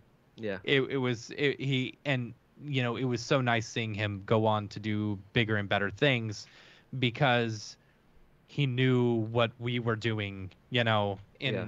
in motion graphics and stuff. Yeah, yeah. It's it's it's it's interesting when you see that there's certain directors there and just people in the industry in- in general that you know can relate to that kind of um, beginning. You know, that self-taught kind of um, you know just scrapping. Like I'd work at the movie theater all day and then come home and all night I'd be watching tutorials, making things, and Mhm. um, that's you know, and and when you're self-taught, that's kind of the route you have to take because you still got to make them bills. Yep. And back in the day, you were working with Gate and D. Simone. Remember, you made the Yeah. limited ed- limited edition Gate and D. Simone shirt. I was shirt. looking for that shirt to wear today, but I couldn't That's find funny. it. Yeah, I don't know where that. I I've got mine. It kind of got stretched out. So Yeah, Yeah. mine too. I, ha- I think too I comfortable. have mine. Yeah. I still have. Yeah, the I still talk Brograph talked to one. Gaten the other With the day. finger. The yeah, finger- the two fingers out Yeah, of I the still computer. have it. Yeah. or the Yeah, yeah, yeah, or yeah. fit the fist the fist bump, right? That's what. No, that was. Oh, that's right. That was ours, wasn't it? Or wait, no, which he one had you the two fists coming out of the He computers. Yeah. That's right. Yeah. Yeah. yeah. Yeah. He, he works at know. He works at thought I had Nickelodeon now, and he's doing some uh, really amazing stuff over there. Actually, he just released like a web series of stuff he drew for Nickelodeon, which Shout is really cool. Gaten. Yeah. Shout out to Gaten. That's awesome. But y'all were both like listening to the show at work Oh yeah, way back in the day. when we were talking about like Octane version two. You're like, wouldn't it be cool if someone from Octane would come on our show? Yeah. and now it's like the Well, main it's like, hub of Uh, had Octane dinner with stuff. Jules the other day. You know. yeah, yeah. like No you biggie. do. No, really, really glad that that Jules and and the Otoy team really got into the whole community aspect. Mhm. Yeah. You know that That's so been so important. important. That's- yeah. One of the things that drew me to Cinema 4D was the community of it all. Mhm. because Exactly. they really under they really understand that side of it and how important it is and just i think i mean i don't know them they could be jerks i don't think so but they just really seem to enjoy the community you know talking to people and seeing what the feedback is and what would help out and stuff How did you get? So you were doing Andrew Kramer and stuff, but how did you get into the 3D Cinema 4D aspects of it? well i mean that was that just kind of was like a natural leap for me because I always want to like go bigger and, and make cooler things and and so uh, I actually started in 3ds Max Mm-hmm. And I was like, he was, you know, Andrew Kramer doing like these fake 2D, you know, two and a half D things. I was like, what if I made 3D things, actual Mhm. 3D things? And then I got a copy of 3ds Max, started making stuff in that, and then, um, and then, cin- and then I was exposed to cinema, and I was like, oh, this is a lot easier. hmm You know. much much easier. Yeah. Yeah. Um, and yeah, that's the rest. you- and the, you- and I think, you have Octane, right? Oh yeah, Um, yeah, yeah. So, like you, I don't know. It it seems like at some point you made a huge leap from like into what you're doing now, and I didn't know if like there's some point where you were learning specifically or spending a bunch of extra time at night doing tutorials and things. Like, what is your is is that laugh because you were or because you weren't? Because I was, yeah. because Yeah. he's completely obsessive and Mhm. I think um i could safely say that probably 60% of the 14 years we've been together has been of him learning Watching tutorials. and being and creating. Um it uh, for anyone out there higher, for anyone out there who's thinking of dating such person um just if you don't Mhm. enjoy time on your own it is not going to work Yeah. uh, you, Mhm. you've got to be able to survive on your own and Mhm. um, i'm very solitary in a lot of ways so i'm like all right fine go do your thing but i do have to like bring his lunch to him i check his pulse I bring, I take the plate away. I'll tap him on the shoulder, like, "Hey, did you brush your teeth yet?" Because it's like eleven thirty, and he's like, "Oh yeah," and then he'll go brush his teeth, or I'm like, "Hey, um, did you shower?"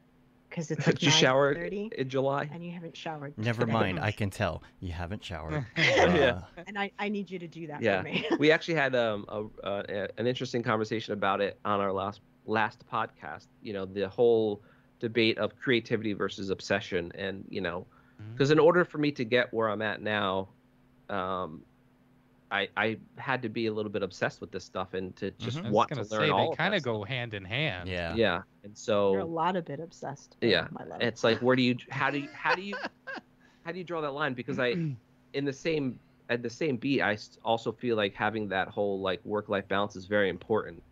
And I have I'm not even close to you know mastering that sort of thing, but I feel like you know burnout is a real thing, and and I just don't like how the community, not the community, but the there's a certain s- portion of people that feel that like you're not a real artist unless you don't sleep for a month on a project or something Right. like that. You know what I mean? And um, uh, I don't know. Like it adds some kind of legitimacy legitimacy to it. And I think it should be okay to like just work eight hours a day on your project, and it, it doesn't Yeah. mean that you're less passionate about it. Well, if there's I something totally that you have to do, that's understandable.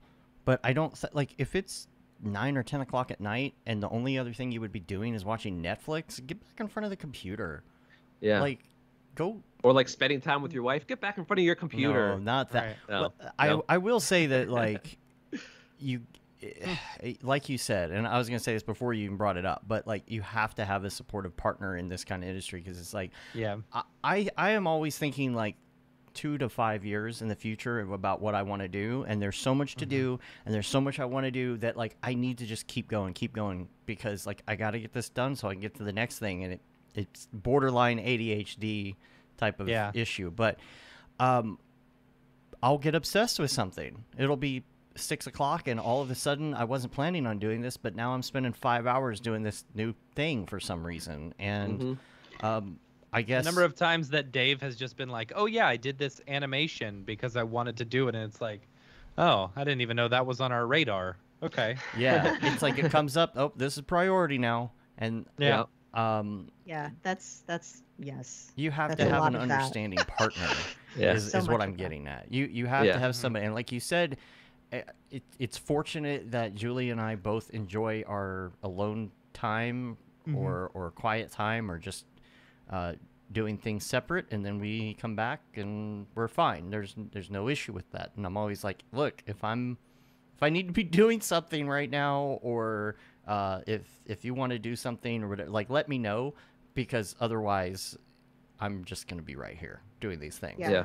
And uh, because you know, a lot of times I'll be like, you know, I should go do something else, and I'll get away from the computer, and I'll go in the other room, and I'm like, What the hell is that like? there's Yeah. nothing to do. There's nothing. I guess mm-hmm. I could put on the TV, but I can't go anywhere with COVID, and I can't, like, you know, go futz around the house. Maybe install that smoke detector I should have put in like a year ago, but. I'll just be like, okay, well, it's nine o'clock, and I don't really want to play video. I'm just gonna sit back down. Man, Yeah. y'all I just have, I just have a need Like, to create. seriously, I have, you know, I, Dave, your whole life is about to change. I want you to know that. I already have a kid. Your I- whole I know, life I know is what about it's to like to have a It's kid. like- Two kids, man, is is it's it's too much. It, it, it's too much to be. No, sorry, I love my kids. I love my kids. Your kids kids are closer together. Mine are almost 12 years apart. So Right, right, right, right. Exactly. One kid is a whole lot easier to deal with than two kids, you know, and a toddler is also very hard. Then you throw a puppy into the mix and it's like, oh boy. The thing is, like, yeah, I absolutely love this, you know, but I've got to have some decompression time. Like, I need two to three hours to decompress because the amount of stress that is on my life with the kids and the puppy and the camp mograph you know Yeah, Yeah. and I will And say I've been like- doing some of that lately where like it gets overwhelming and all the to-do lists are there and I will literally like unless there's an emergency, I'm going to shut off. I'm going to shut Yeah. off right now and I'm Yeah. going to zone out and take a break Yep. before the storm, you know, which Yeah, is what I'm it's going to do like, how- Saturday afternoon before the storm of camp. right you i'm. Yeah. hoping that i can get everything done today and tomorrow and then be able to have a, a, a fun labor day you know But there's Yeah, also yeah. nothing wrong. Like, there's nothing wrong with enjoying it. No. There's nothing wrong with spending the time on it. I mean, look what it's done for you doing those late nights, right? Like, Mhm. now you can create some of the things that you want to create. You're out there doing NFTs and stuff, and you're going to be able to make some cool stuff for your films. And Mhm. that's that's helping you. That's that's helping you. Like, what does it hurt? Is is what I'm saying. Right. When it starts to hurt, I get it.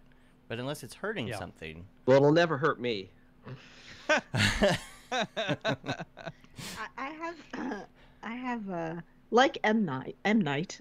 I have a love hate relationship with graphics, um, Yeah. because, you know, when I met Paul, he did he had a laptop and no credit, Mhm. and uh, Yeah. His car was his muffler was being held on by a wire hanger, True. and I was like, how do you not have a credit card? Oh my god! And Honda Civic with two won't hundred give fifty me thousand one. miles. Yeah. Yeah. I, I I bought him a Dell computer, a desktop, and that's what he started learning on. And um, you know, we went through many years of not. I don't think we took a an actual vacation, like a real vacation, until well, eight years yeah into our relationship. I mean, because it was always like, yeah, but we could buy film equipment with this. right? yeah Sure, we could have this destination vacation. I mean, even our when we got married, we just like went to the town, got married, uh, and then had like this little party that was maybe 200 bucks that I also catered. so, That's uh, because funny. everything was like, how could we how could we put this towards uh, film? We don't even have wedding rings. I was like, I don't. I could yeah, I could have an engagement ring, or we could have a better camera. That's true. So You hold uh, up the Paul, you're camera. gonna Here's have my change engagement that ring. eventually I I don't. That's even, her choice. I don't care. I don't even want one. We've been married for That's why we're married. 12 years. You're like, this Ursa point? is my engagement ring. Exactly. Will you exactly. marry wear me? this on Here's your my hand. Yeah, Yeah. yeah. That, that's it. I don't. I don't care. I Yeah. but I mean, I I sometimes want to strangle him, obviously, because a lo- everything with the house falls on me. For instance, we wouldn't have even known our crawl space was completely flooded if I wasn't like, hey, I can was you gonna take a bring that gander up. down there? Y'all are okay, right? Like y'all are flooding. We little are, bit. but yeah. we probably got about six grand in damages that we're gonna have to redo Yeah. now. The whole vapor barrier So stuff. buy my NFTs. so Yeah. Yes. Um, so I do, you know, I, I get it, but uh, I also I really admire the way that he works and and also how your types learn because uh, he's What do you mean your types? i was gonna say you're your your your your No, it's funny. types your types are all I get it. you're you're Yeah. all autodidactic and I find that fascinating because I'm so not. I'm like vintage and analog. That's how I work. And he can sit down and watch a tutorial and be like, right, mainframe, key two, F1, got it. And then he just makes, look, I've made a dinosaur. And I'm like, of course you did. Um, but if I try to teach him something that's more analog, he's like or- cooking. immediately he's like, "Where's the app for Yeah. this? Right. How do you digitize it? Where do Yeah. what tutorial do I watch for this? Uh, how do I make this easier? And like, uh, how much RAM do I need? yeah. and then just send me on my way. But when he tries to teach me something, I'm like, why do I need a five thousand dollar license and three passwords to learn how to Yeah. on the computer? Like, I just You're can not I the Yeah. only one asking. Yeah. that. I And tell not Julie to, yeah. to write down her recipes digitally onto, uh, you know, an app or in her notes on her phone or something, rather than writing them on a sheet of paper.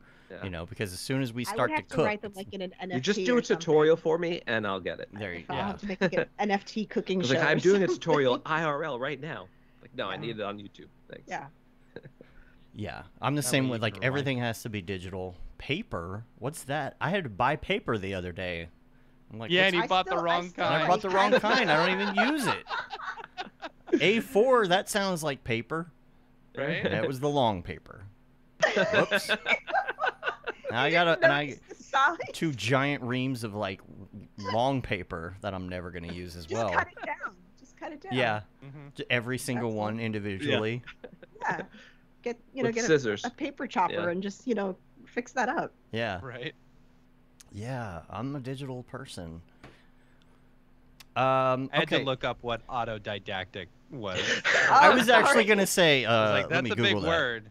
It just means a self-taught person. Yeah, Yeah. It, but Yeah. it's like it's to such an extent where it's it's not it's like being self-taught, but also having the patience and wherewithal to actually. I, I can't. I'm a person. I need to have somebody next to me so I can ask the question and go. But what about this? Yeah. Uh, that drives me nuts. Yeah. And and I notice like your types are just like we'll figure it out, Mhm. or Yeah. he jumps into like you know, a forum. Yeah. and there's going to be an answer, and somebody will answer it. Well, you have to because you're we're constantly taking projects that we don't know how to do for the money, and then we have to learn every on the way job. there. Yes. It's every job. Every, you know, it's every I, I it's funny like I I have always said that every every new job is a puzzle, right? Mhm. And you have to figure out how to put the pieces together in order to get the final picture. And you sometimes know? the puzzle is fun, and sometimes it Yes. sucks. Yes. Well, And it's kind of like- and- the, uh, and It, it's it's and there's multiple ways to do the the same puzzle, you know? Yeah. And right. some of them will look exactly the same and some of them will look completely different. and some of you them will cost more money. Yes. thousand. Yeah. yeah, that's kind of like um, when COVID hit, we weren't sure when we were going to be able to see other people again, and so Mhm. I was like, let's make an animation, and by that I mean you. And Yeah. Um, I was like, okay, if I give you an example, She's encouraging this behavior. I do, and when I'm like- I'm like, can you, if I can you build and make it look like? If you're gonna make ignore look me, can like you at least this? make something for exactly. me? Exactly. and he's always like, yeah, sure, no problem. And then he gets to building that, and he's like, oh, because I'll just hear sighs from across the room. and like, what's wrong? He's like, I don't just, uh, I'll figure it out. That is me every um, day. Mhm. Like Yeah. Yes, Julie's downstairs, and are you all right? No, I'm just something else is broken. yep. Constantly. It's always I remember- computer shutting off. Yeah. yeah. Yeah. So Uh, back when off. we we uh, Dave and I worked together at the the first place we did, Oh, it was yeah, yeah. funny. Like all around the office, you just hear "fuck," you know. GD every other coming Yeah. from different random. It's like surround Yeah. sound, It's funny. and then the internet goes down, and you hear it come out of every office at the same Yeah. time. mhm. Um, It's funny. Yeah, so I want to talk about the NFTs and stuff, but before we do that, and before we get into the drop, we're gonna do MoGraph recommends. This is gonna be super interesting today, because Okay. Haven't we done MoGraph recommends though? I feel like we've done MoGraph recommends with y'all. they haven't. Well, been I've never been on the show. before. You haven't been on our show? No, we were No, on we their man. show. Were we on your show? Yeah, yeah, that's Yeah. what that was. It was the other way. All right. I Flip-flop. forget. Yeah. Yeah, after 300 episodes. We know who loves who. Yeah. Well, that's It's the problem. Oh I'll get on these Skype calls or Discords and things, and I can't remember if we had a conversation on Yeah, the yeah. air or where it was. Just you know, they're all if right you- here if it desk. makes you feel better, like sometimes I'll see a person and I'll be like, "Oh, we should have them on the show," and Dave says, "We've already had them on the show." They were on the show two weeks ago. Yeah. Yeah. Yeah. yeah. It's like we should get this. We should get someone on the show. Okay, what about this person? They were on a month and a half ago. Yeah. Yeah, it's just a blur. like. It's just uh, I don't even know. I'm gonna have to add it up. I added it up at show 200. I'm gonna have to add it up Mhm. at 300 and see. I've got a spreadsheet because we Yep. were at we're almost at or we'll we're- we'll be at least at two months where you Yeah. could play our shows back to back and and they would keep going for two months. That's pretty ridiculous. So. Yeah. Um, let's do MoGraph recommends, and we are going to start. Uh, and as you've you've heard because you listen to the show, this could be your all time or a recent favorite on any of these things. But we're going to start with movie. Gosh, go it's got to be hard for y'all. I can't do that. I simply can't. Yeah. I shan't. Well, I have three. I can't pick one, but I have three because there's fine. three films that, that. that have like uh, that mark an important chapter in my life. One of them is A Few Good Men. Okay. One is Army of Darkness, and then Rumble in mm-hmm. the Bronx. Okay. So random. Yeah, Okay. Okay. and they're not like my favorite movies or the best movies, but they're movies that mark an important important chapter in my life, like a change or something. I get that. Basketball is one of my favorite movies of all time. It's the stupidest movie, Yeah. but there are times where I'm like, I just want to put that on. I have Yeah. I have that entire freaking movie memorized. That like, it's so dumb, but it's so funny. Yeah. what about you? You have Yeah. anything? Oh my god! Like when I tell you I've watched certain movies well over two or three hundred times, like, uh, I mean, it depends. Are we going like old school? It could be anything. Something recent, something Or it old. could be Uh, old school. There, Yeah. no, it's not. Uh, my boy good Blue. movie. My boy Blue. You're, you're Um, I don't know, crazy, I mean- man. as a kid, I watched uh, Beetlejuice like a massive amount of times. that That, film was like really, really big time for me. Um, Basketball Diaries was actually really Yeah, an impactful for you. film for me. It was, uh, I was uh, like, I'm like I'm old school Leonardo. I'm back in like early '90s Leonardo, and he uh, he wasn't really very popular back then. And I saw that Mhm. movie three times in in the theater when it came out. Um, ugh, uh, Django Unchained. Hmm, That was a good one. So I. I guess I'd, I have. I, oh, and Leon the Professional. That was a big one for me. Mhm. Um, I was I'm a huge Gary Oldman fan. So like Gary, uh, uh, Leon and Basketball Diaries were probably the most impactful for me in terms of wanting to make films. Mhm. Have um, you seen uh, Cinema Paradiso? No. Y'all need to watch it. Okay. If if anybody I know needs to watch that movie, I, I would like to know your opinion of that movie because I it is still one of my all time favorites, and none of nobody I know has seen that movie. Huh. Interesting. Put it on your list. It, it's I'm good. putting it's it subtitles, but no, that, I like subtitles. We're we're fine with that. Yeah. so good. How do you feel about uh, David Lynch? You're more of a Lynch fan Yeah. than Yeah, he's always he's got the he. I like the way he uses um you know him and his cinematography tells cinematographer tells stories. Mhm. I'm more Fincher than Lynch. yeah. I'm very Finchy. I I love Fincher. I Yeah. love Fincher. Fincher's great. David Lynch, I I was always just like, what's what's what's the appeal, right? And still, part of me is like, I don't get appeal? it, but I love it for some reason. Yeah. You know, it's like we watched, um, we watched, um, what is it? Uh, Twin Peaks. You Mhm. know, me and Amy watched Twin Peaks, and it was just the weirdest show we had ever seen in our entire lives. But it was like we were so excited when season three came out, and Mm-hmm. season three was bonkers, and it's like so good. Yeah. I, I I just can't explain it. Yeah. Twin Peaks. You like Twin Peaks, but not the not the restaurant. The No, yeah. It's stupid. I hate those. I hate those places so much. Yeah. I, that really gets to me. Hey, we're a booby restaurant, derp. Like I just, I just, it, I just don't like it. Derp. I'm I'm going there for the for the wings. Mm, Yeah. Okay. Sure you are. Yeah. Um. All right. Uh, the next thing on the list would be let's let's skip over the music for a second. Let's go to TV show while we're on this kick. I should really just Mhm. clump those together from now on. You should. Yeah. TV show. No. Um, for me, let's see. trying to think. I mean, Scrubs is my all-time favorite TV show. Man, that got me through some hard times. It- yeah, me too. My MySpace days. Yeah. Through my MySpace Um, days. which will lead that will lead into my favorite podcast. But that's probably if I had to pick one show, if I was stuck on an island forever, whatever, it'd probably be that one. Yeah. All eight seasons. Uh, not the ninth. I'll deal with the eighth. Yeah. All The eight ninth. seasons, right? Yeah, yeah. Yeah. Sorry. All eight seasons. Sorry, went right over the. Um, Oh. you Yeah. favorite TV show? One? Yeah, sure. I don't. Uh, it doesn't I mean, have to be one. You can say name a I- couple if you want, isn't? isn't I.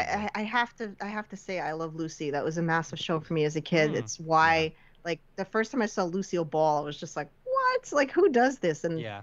that representation was kind of crazy. It was why Alien's still one of my favorite movies. This was the first time I'd ever seen like a woman in a sci-fi that was Yeah. kicking ass, and you know, the, so it was pretty cool. Um, I'm a big Will and Grace fan. That's a massive show for me. Not the new one, Not the new one. I The haven't seen the original. new one. the originals. I love Lucy, and I, it would come on every night.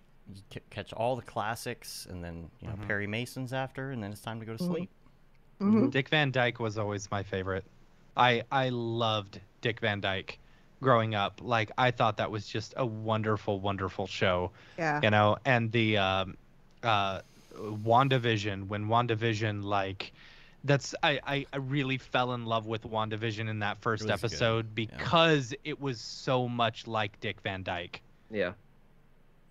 And Kevin in the in the chat, he says Scrubs is pretty good, but Breaking Yeah. Bad is the best show that he's ever seen, except maybe The Wire. Oh well, I mean, like Oh, of okay. of of newer stuff. Yeah, I could go off, Breaking but just Bad. like We've I've watched Breaking Bad. That's a great show. The Wire. Hmm. I never I haven't watched Yeah, it yet. watched Sorry, The Kev. I know watched it's one good, and I, I can't it's get like- past I the know. first one. I know you got. I was keep like that going, with but- Mad Men. I tried so hard to get into Mad Men, and I was like, Same. "I Same, but do once it." I once I finally got into Mad Men again, like it is Mhm. so good, so good. Yeah. I haven't I haven't so good. I haven't revisited Mad Men. Yeah. Love the title sequence. The best the Yes. best Yeah. way to Yes. get into Mad Men is not to start at the beginning. Because that's what I tried to do and it was slow and I wasn't really getting it. Like when when Julie was already in the middle of watching it and I got into it, I was like, oh, "Okay, now I n- this is good. I'm going back." Okay. Starting over. Yeah. Yep. Yeah. Any others? Is that it? Oh, let's um, see. I mean, I, I don't care what anyone says. I still Creek love is really good. Friends is- That's a good new one. Yeah. yeah, Schitt- Schitt's Creek was great. Oh, Friends. yeah. I mean, if we're getting into like stuff that's like cin- that we're really getting to cinematography, I'd have to say some of the best. Dark is probably the best looking show ever. Yeah, Dark was great, great show. Um, Okay. but for me, I know this much was true. That's great. Was the best show that I could probably never watch again because it just emotionally was so intense. And my favorite sci-fi sh- uh, show was Tales from the Loop. Yeah, that was a really good Um, one. oh, and Catch Twenty Two. That's a it's That's a a show good on. Hulu. That's I, I I've yet to meet another person that's watched it. I want to talk to somebody about it. No one's ever seen it. What is and it? it Catch Twenty Two. Oh. We we made a mis- we made a mistake when we watched Tales from the Loop. And what happened was apparently we had tried to watch it like a year before and we didn't I don't know. It was like one of those things that was late at night and uh, let's put this on and we both fell asleep. It ran through the whole thing and it got to the end.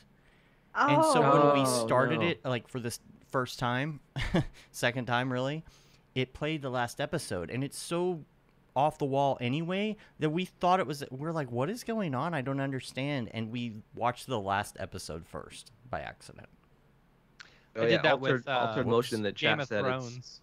Yeah. Did that with Game of Thrones. Altered motions Oh. of the Expanse. The the Expanse, yeah, that's good. You guys seen that? I haven't. Uh-uh. No. Oh, that's really good. No. Uh, let's see. Uh, music. Architects Tool. All done. right. was That's really easy. Done, easy. done and done. Wow. All right. I mean, I I could keep going. Yeah, Honestly, she's I mean, got a very eclectic. Paul uh, listens to the same kind of music. Yeah. He will not like vary from that at all. Give me the drums. Give me the heavy guitars. And screaming, and that's and it. Screaming. Ah, you're one but of those. I'm pretty much like uh, I love classical music. I love bluegrass. I love folk Mhm. music. I love metal. it makes no sense. Have you heard the uh, bluegrass cover of uh, Metallica? Yes. It's uh, Wow. uh, Wait, was what- it ol- what is- older? Is there a new one? no, it was it was older. It was probably okay, like yeah. 10, 15 years ago or something Mhm. like that. Uh, They also did a Shins album, which I thought was excellent. I didn't Hmm, hear that one. shins, yeah. Yeah, I'm. Uh, yeah, I don't know. I'm Yeah. just like uh, I recently found a lullaby version of Tool, and I'm obsessed with it. it's like That's funny, children's, yeah. like a nursery, Yeah. a nursery album for babies, but all Tool. Okay. Oh yeah, I I used to play those on loop for for Emily when she was younger. All the nursery rhyme pop songs was awesome. Because Mm. at least it's not like super annoying nursery rhyme Yes. songs. Right, right, It's right. just like, you know, little xylophones playing Radiohead or something. Yeah. So, uh, podcasts. Rockabye Baby Tool rendi- rendition. Yeah, what ro- it's rock, rockabye baby. Yeah. Huh. Uh, yes. Uh, podcast. Mograph. Well, Ah. of course. Wah, wah. Besides that, though. I am. I'm actually not a big podcast person. Yeah, When I do listen to them, it's usually some something that has to do with true crime. Yeah. We listened to that Um, one when we went to the. I, I, I do like uh, my brother, my brother and me. Yeah. oh Love that one. I So saw them live. Just So saying. did Yeah, we. So did we. Yeah. Yeah. It was a- such a great show. So um, great. for me, like my podcasts have nothing to do with any like creativity or 3D anything. It's all just funny stuff. Sean Hayes and Jason Bateman's. Yeah, the Smartless is a great one. The Scrubs, uh, Fake Doctors, Real Friends, the Scrub Rewatch podcast Mhm. is a great one. Um, those are the two I'm cur- currently obsessed with. You But there's a few. Watch Monster Factory uh, with the two guys from my brother, my brother and me. Uh, no, Oh my god. we watched that show they had so they had for a while. I loved their show. That was Yeah. so good. Yeah. The, the yeah, the show was really funny. that was I good. really enjoyed that. Yeah, I feel like it got it was just on the wrong network or Yeah. the wrong Yeah. thing. And then they it should have just networks. self-produced it and then put it on YouTube or Yep. whatever. Yeah. Totally. You know, Something like it's a shame. The But so, um, mhm. oh, so I was gonna say we have like a, a hard out soon, so we have to um, Yeah. Oh, how much time you got? I didn't know that. Eight maybe minutes. like eight minutes. Oh no. Okay, we better get to the drop quick. Let's get to the drop. Oh Sorry. my gosh, let's go to the drop. I knew that. The drop. Drop, drop. Is this the fucking mic? Drop. This is exactly what I should be doing.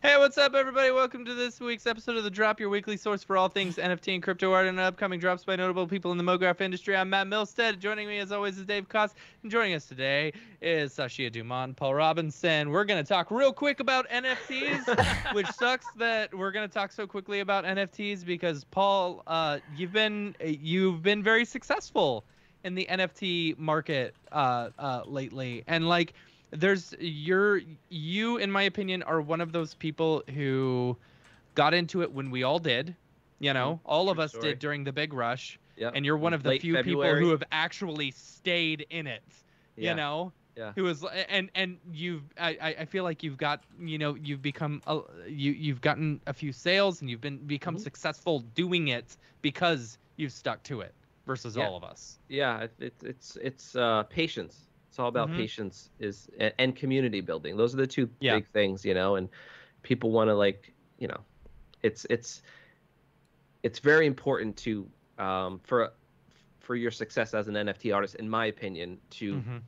gel with the community you know and not just make fake friends like just because if you love what you're doing then you have a lot in common with all these people and so you can you'll just like gel with them like i have people that are legitimately my friends that i've made in the past couple of months that i've never even seen half of them i don't even know their real name but we'll Yeah. just talk about stuff you know yeah Yeah. Um, so you you did a drop with uh, Tori Bryant recently. Big old Mhm. Tory Bryant, yeah. Um, are you? Is the new one that you have on Foundation right now? Uh, yeah, it drops tonight. It's minted now, but it, it drops tonight at um, midnight my time. Are we able to Eastern time. see Eastern. it? What is? what- Yeah, it's on there. Okay. Um, yeah, I think I sent you the link, but or the Here, video Dave. itself. I'm gonna. put it. Did you Um, grab the? put it? Did you is a- grab the links from the drop list? uh, I did not. Okay, I so I'm gonna send you a couple of them, unless Okay. you're able to grab them real quick. Uh, yeah, Uh, I could probably grab them. I'll open Notion. And then I Uh, just sent one in chat. Uh, Kevin hit me up, and he's got a drop. Oh, yes, nice. He, he Yeah. Is it a Breaking Bad drop or? right? No, he's he's got this uh the the pineapple one, right? Mm-hmm. Let me bring this up here. There you go. Got this pine. uh, This drops today, I believe, right? Mm. oh, This very today? nice. Yes. The pineapple Oh, one that's right nice. there. Oh yeah, yeah, yeah, yeah. We're gonna we're gonna keep going fast here. Yes, Friday, Yeah. September third, and then uh, we got yours. Is that the one that you sent to me on Facebook yesterday? Because um, Yeah, I didn't know if that was that a link directly to I Foundation. think it was just a video file because it wasn't minted at that point. What is It was- going on? What is this Foundation? What is this? Thirteen hundred dollars for a picture of a truck with somebody underneath with their head cut off in Photoshop. What is going on? Okay. All right. Um, so let me go to you. Hey man, art is art. Okay. Art is art, yeah, dude. Yeah, I know. You don't understand. Okay. All right. Fine. I don't understand. Uh, There's one more in chat that I sent you. Okay. Cool. I'm looking for your piece here, real quick. So this is is this on Foundation tonight? It is now. Yeah. It will. Okay. Cool. Cool. All right. So this is yours here. Tell us about this one. Uh, So this is part of a, a, a collection that um, Altered Motion put together. Twelve artists. We all got a, um, a sign, zodiac sign, that goes along with a birthstone that is going to uh, correlate with colors and stuff. So we all got the gemstone, and then we were, our assignment was just to make something based on the the zodiac sign.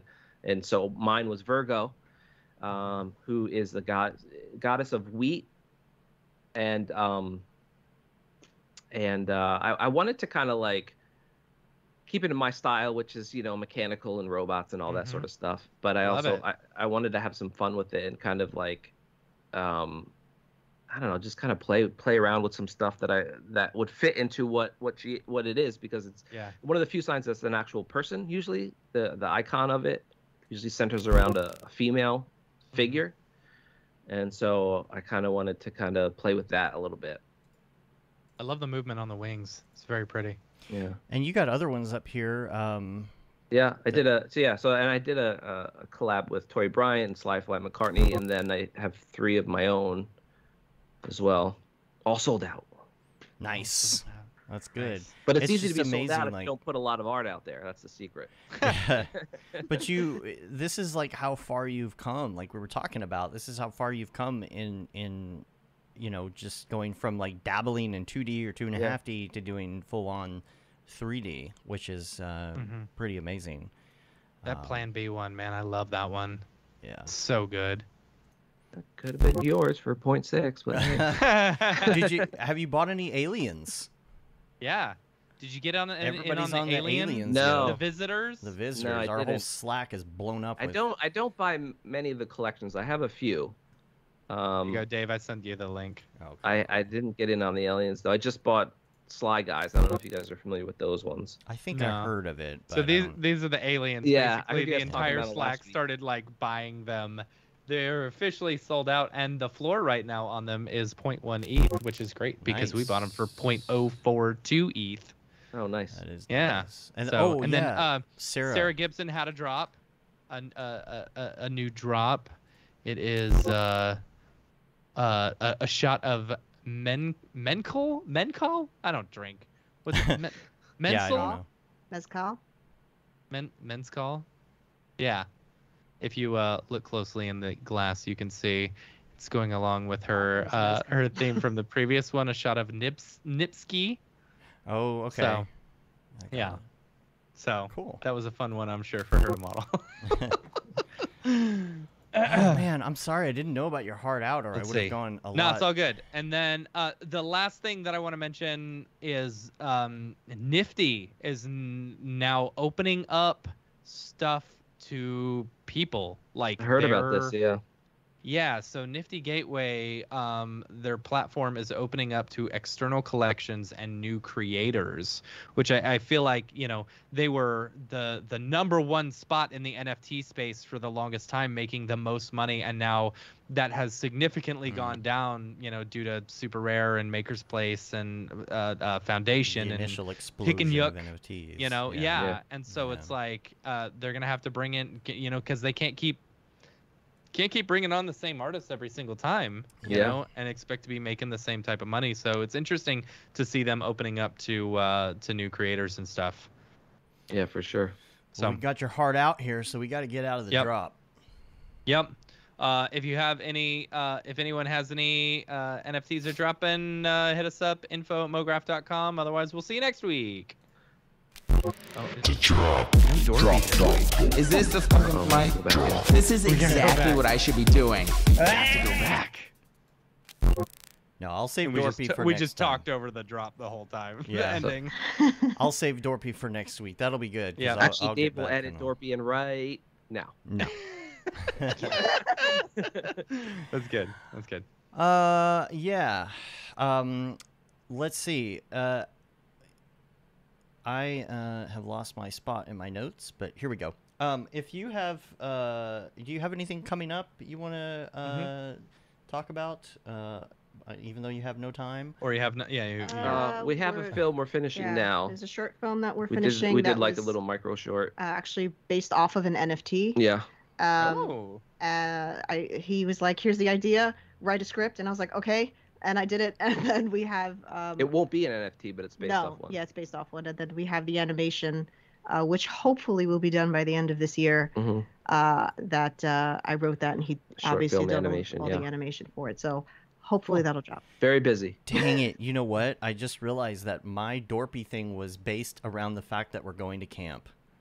Oh. Uh, All right. Well, now you will insert it right Yes, here. now. Do, do you have do do- you have one minute that that you could spare to do this? All right. Okay, we'll we'll hurry. You're I'm gonna just- have to cut out everyone. Yeah, I know. I'm just gonna go back to this right here. Here we go. That's funny. We'll just edit it all on the fly, right? All right, here we All go. right, here we go. Hey, Oh, how's it look, going, Matt? it's Dorpy. oh no, it's Hi. Dorpy. Oh no! Yeah, Matt, I'm all ready for camp. I got my right. COVID shot as well as uh, COVID test just to be sure. Just waiting them to get back with me on the uh, lab reports.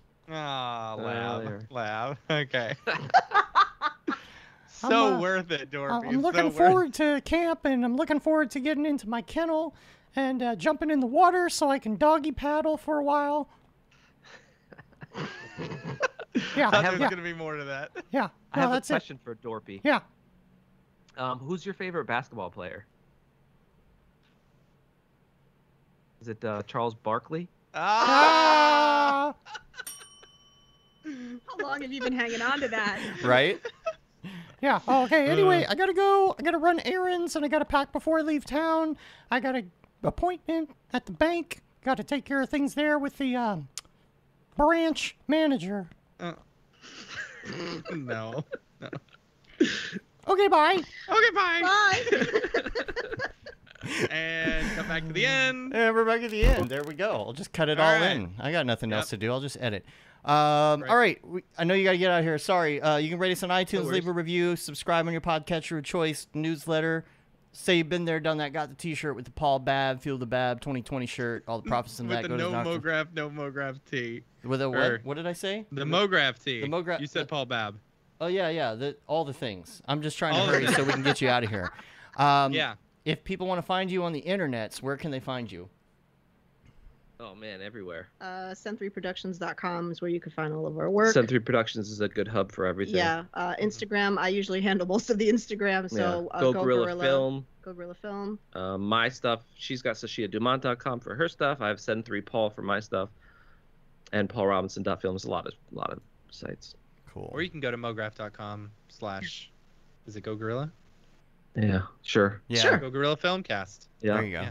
Cool. There you go. and we're not the only one there. Nope, you're not. That's You are not.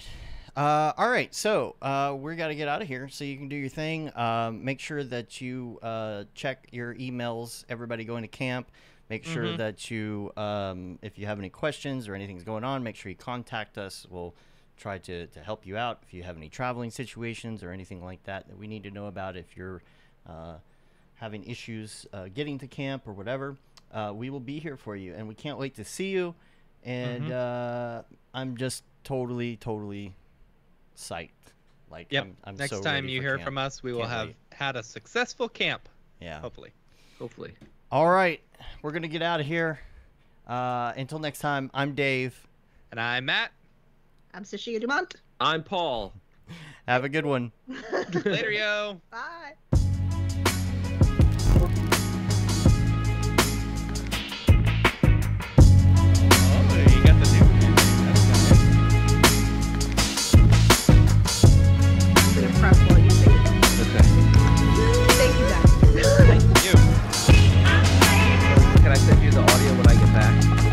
Yeah, that's right.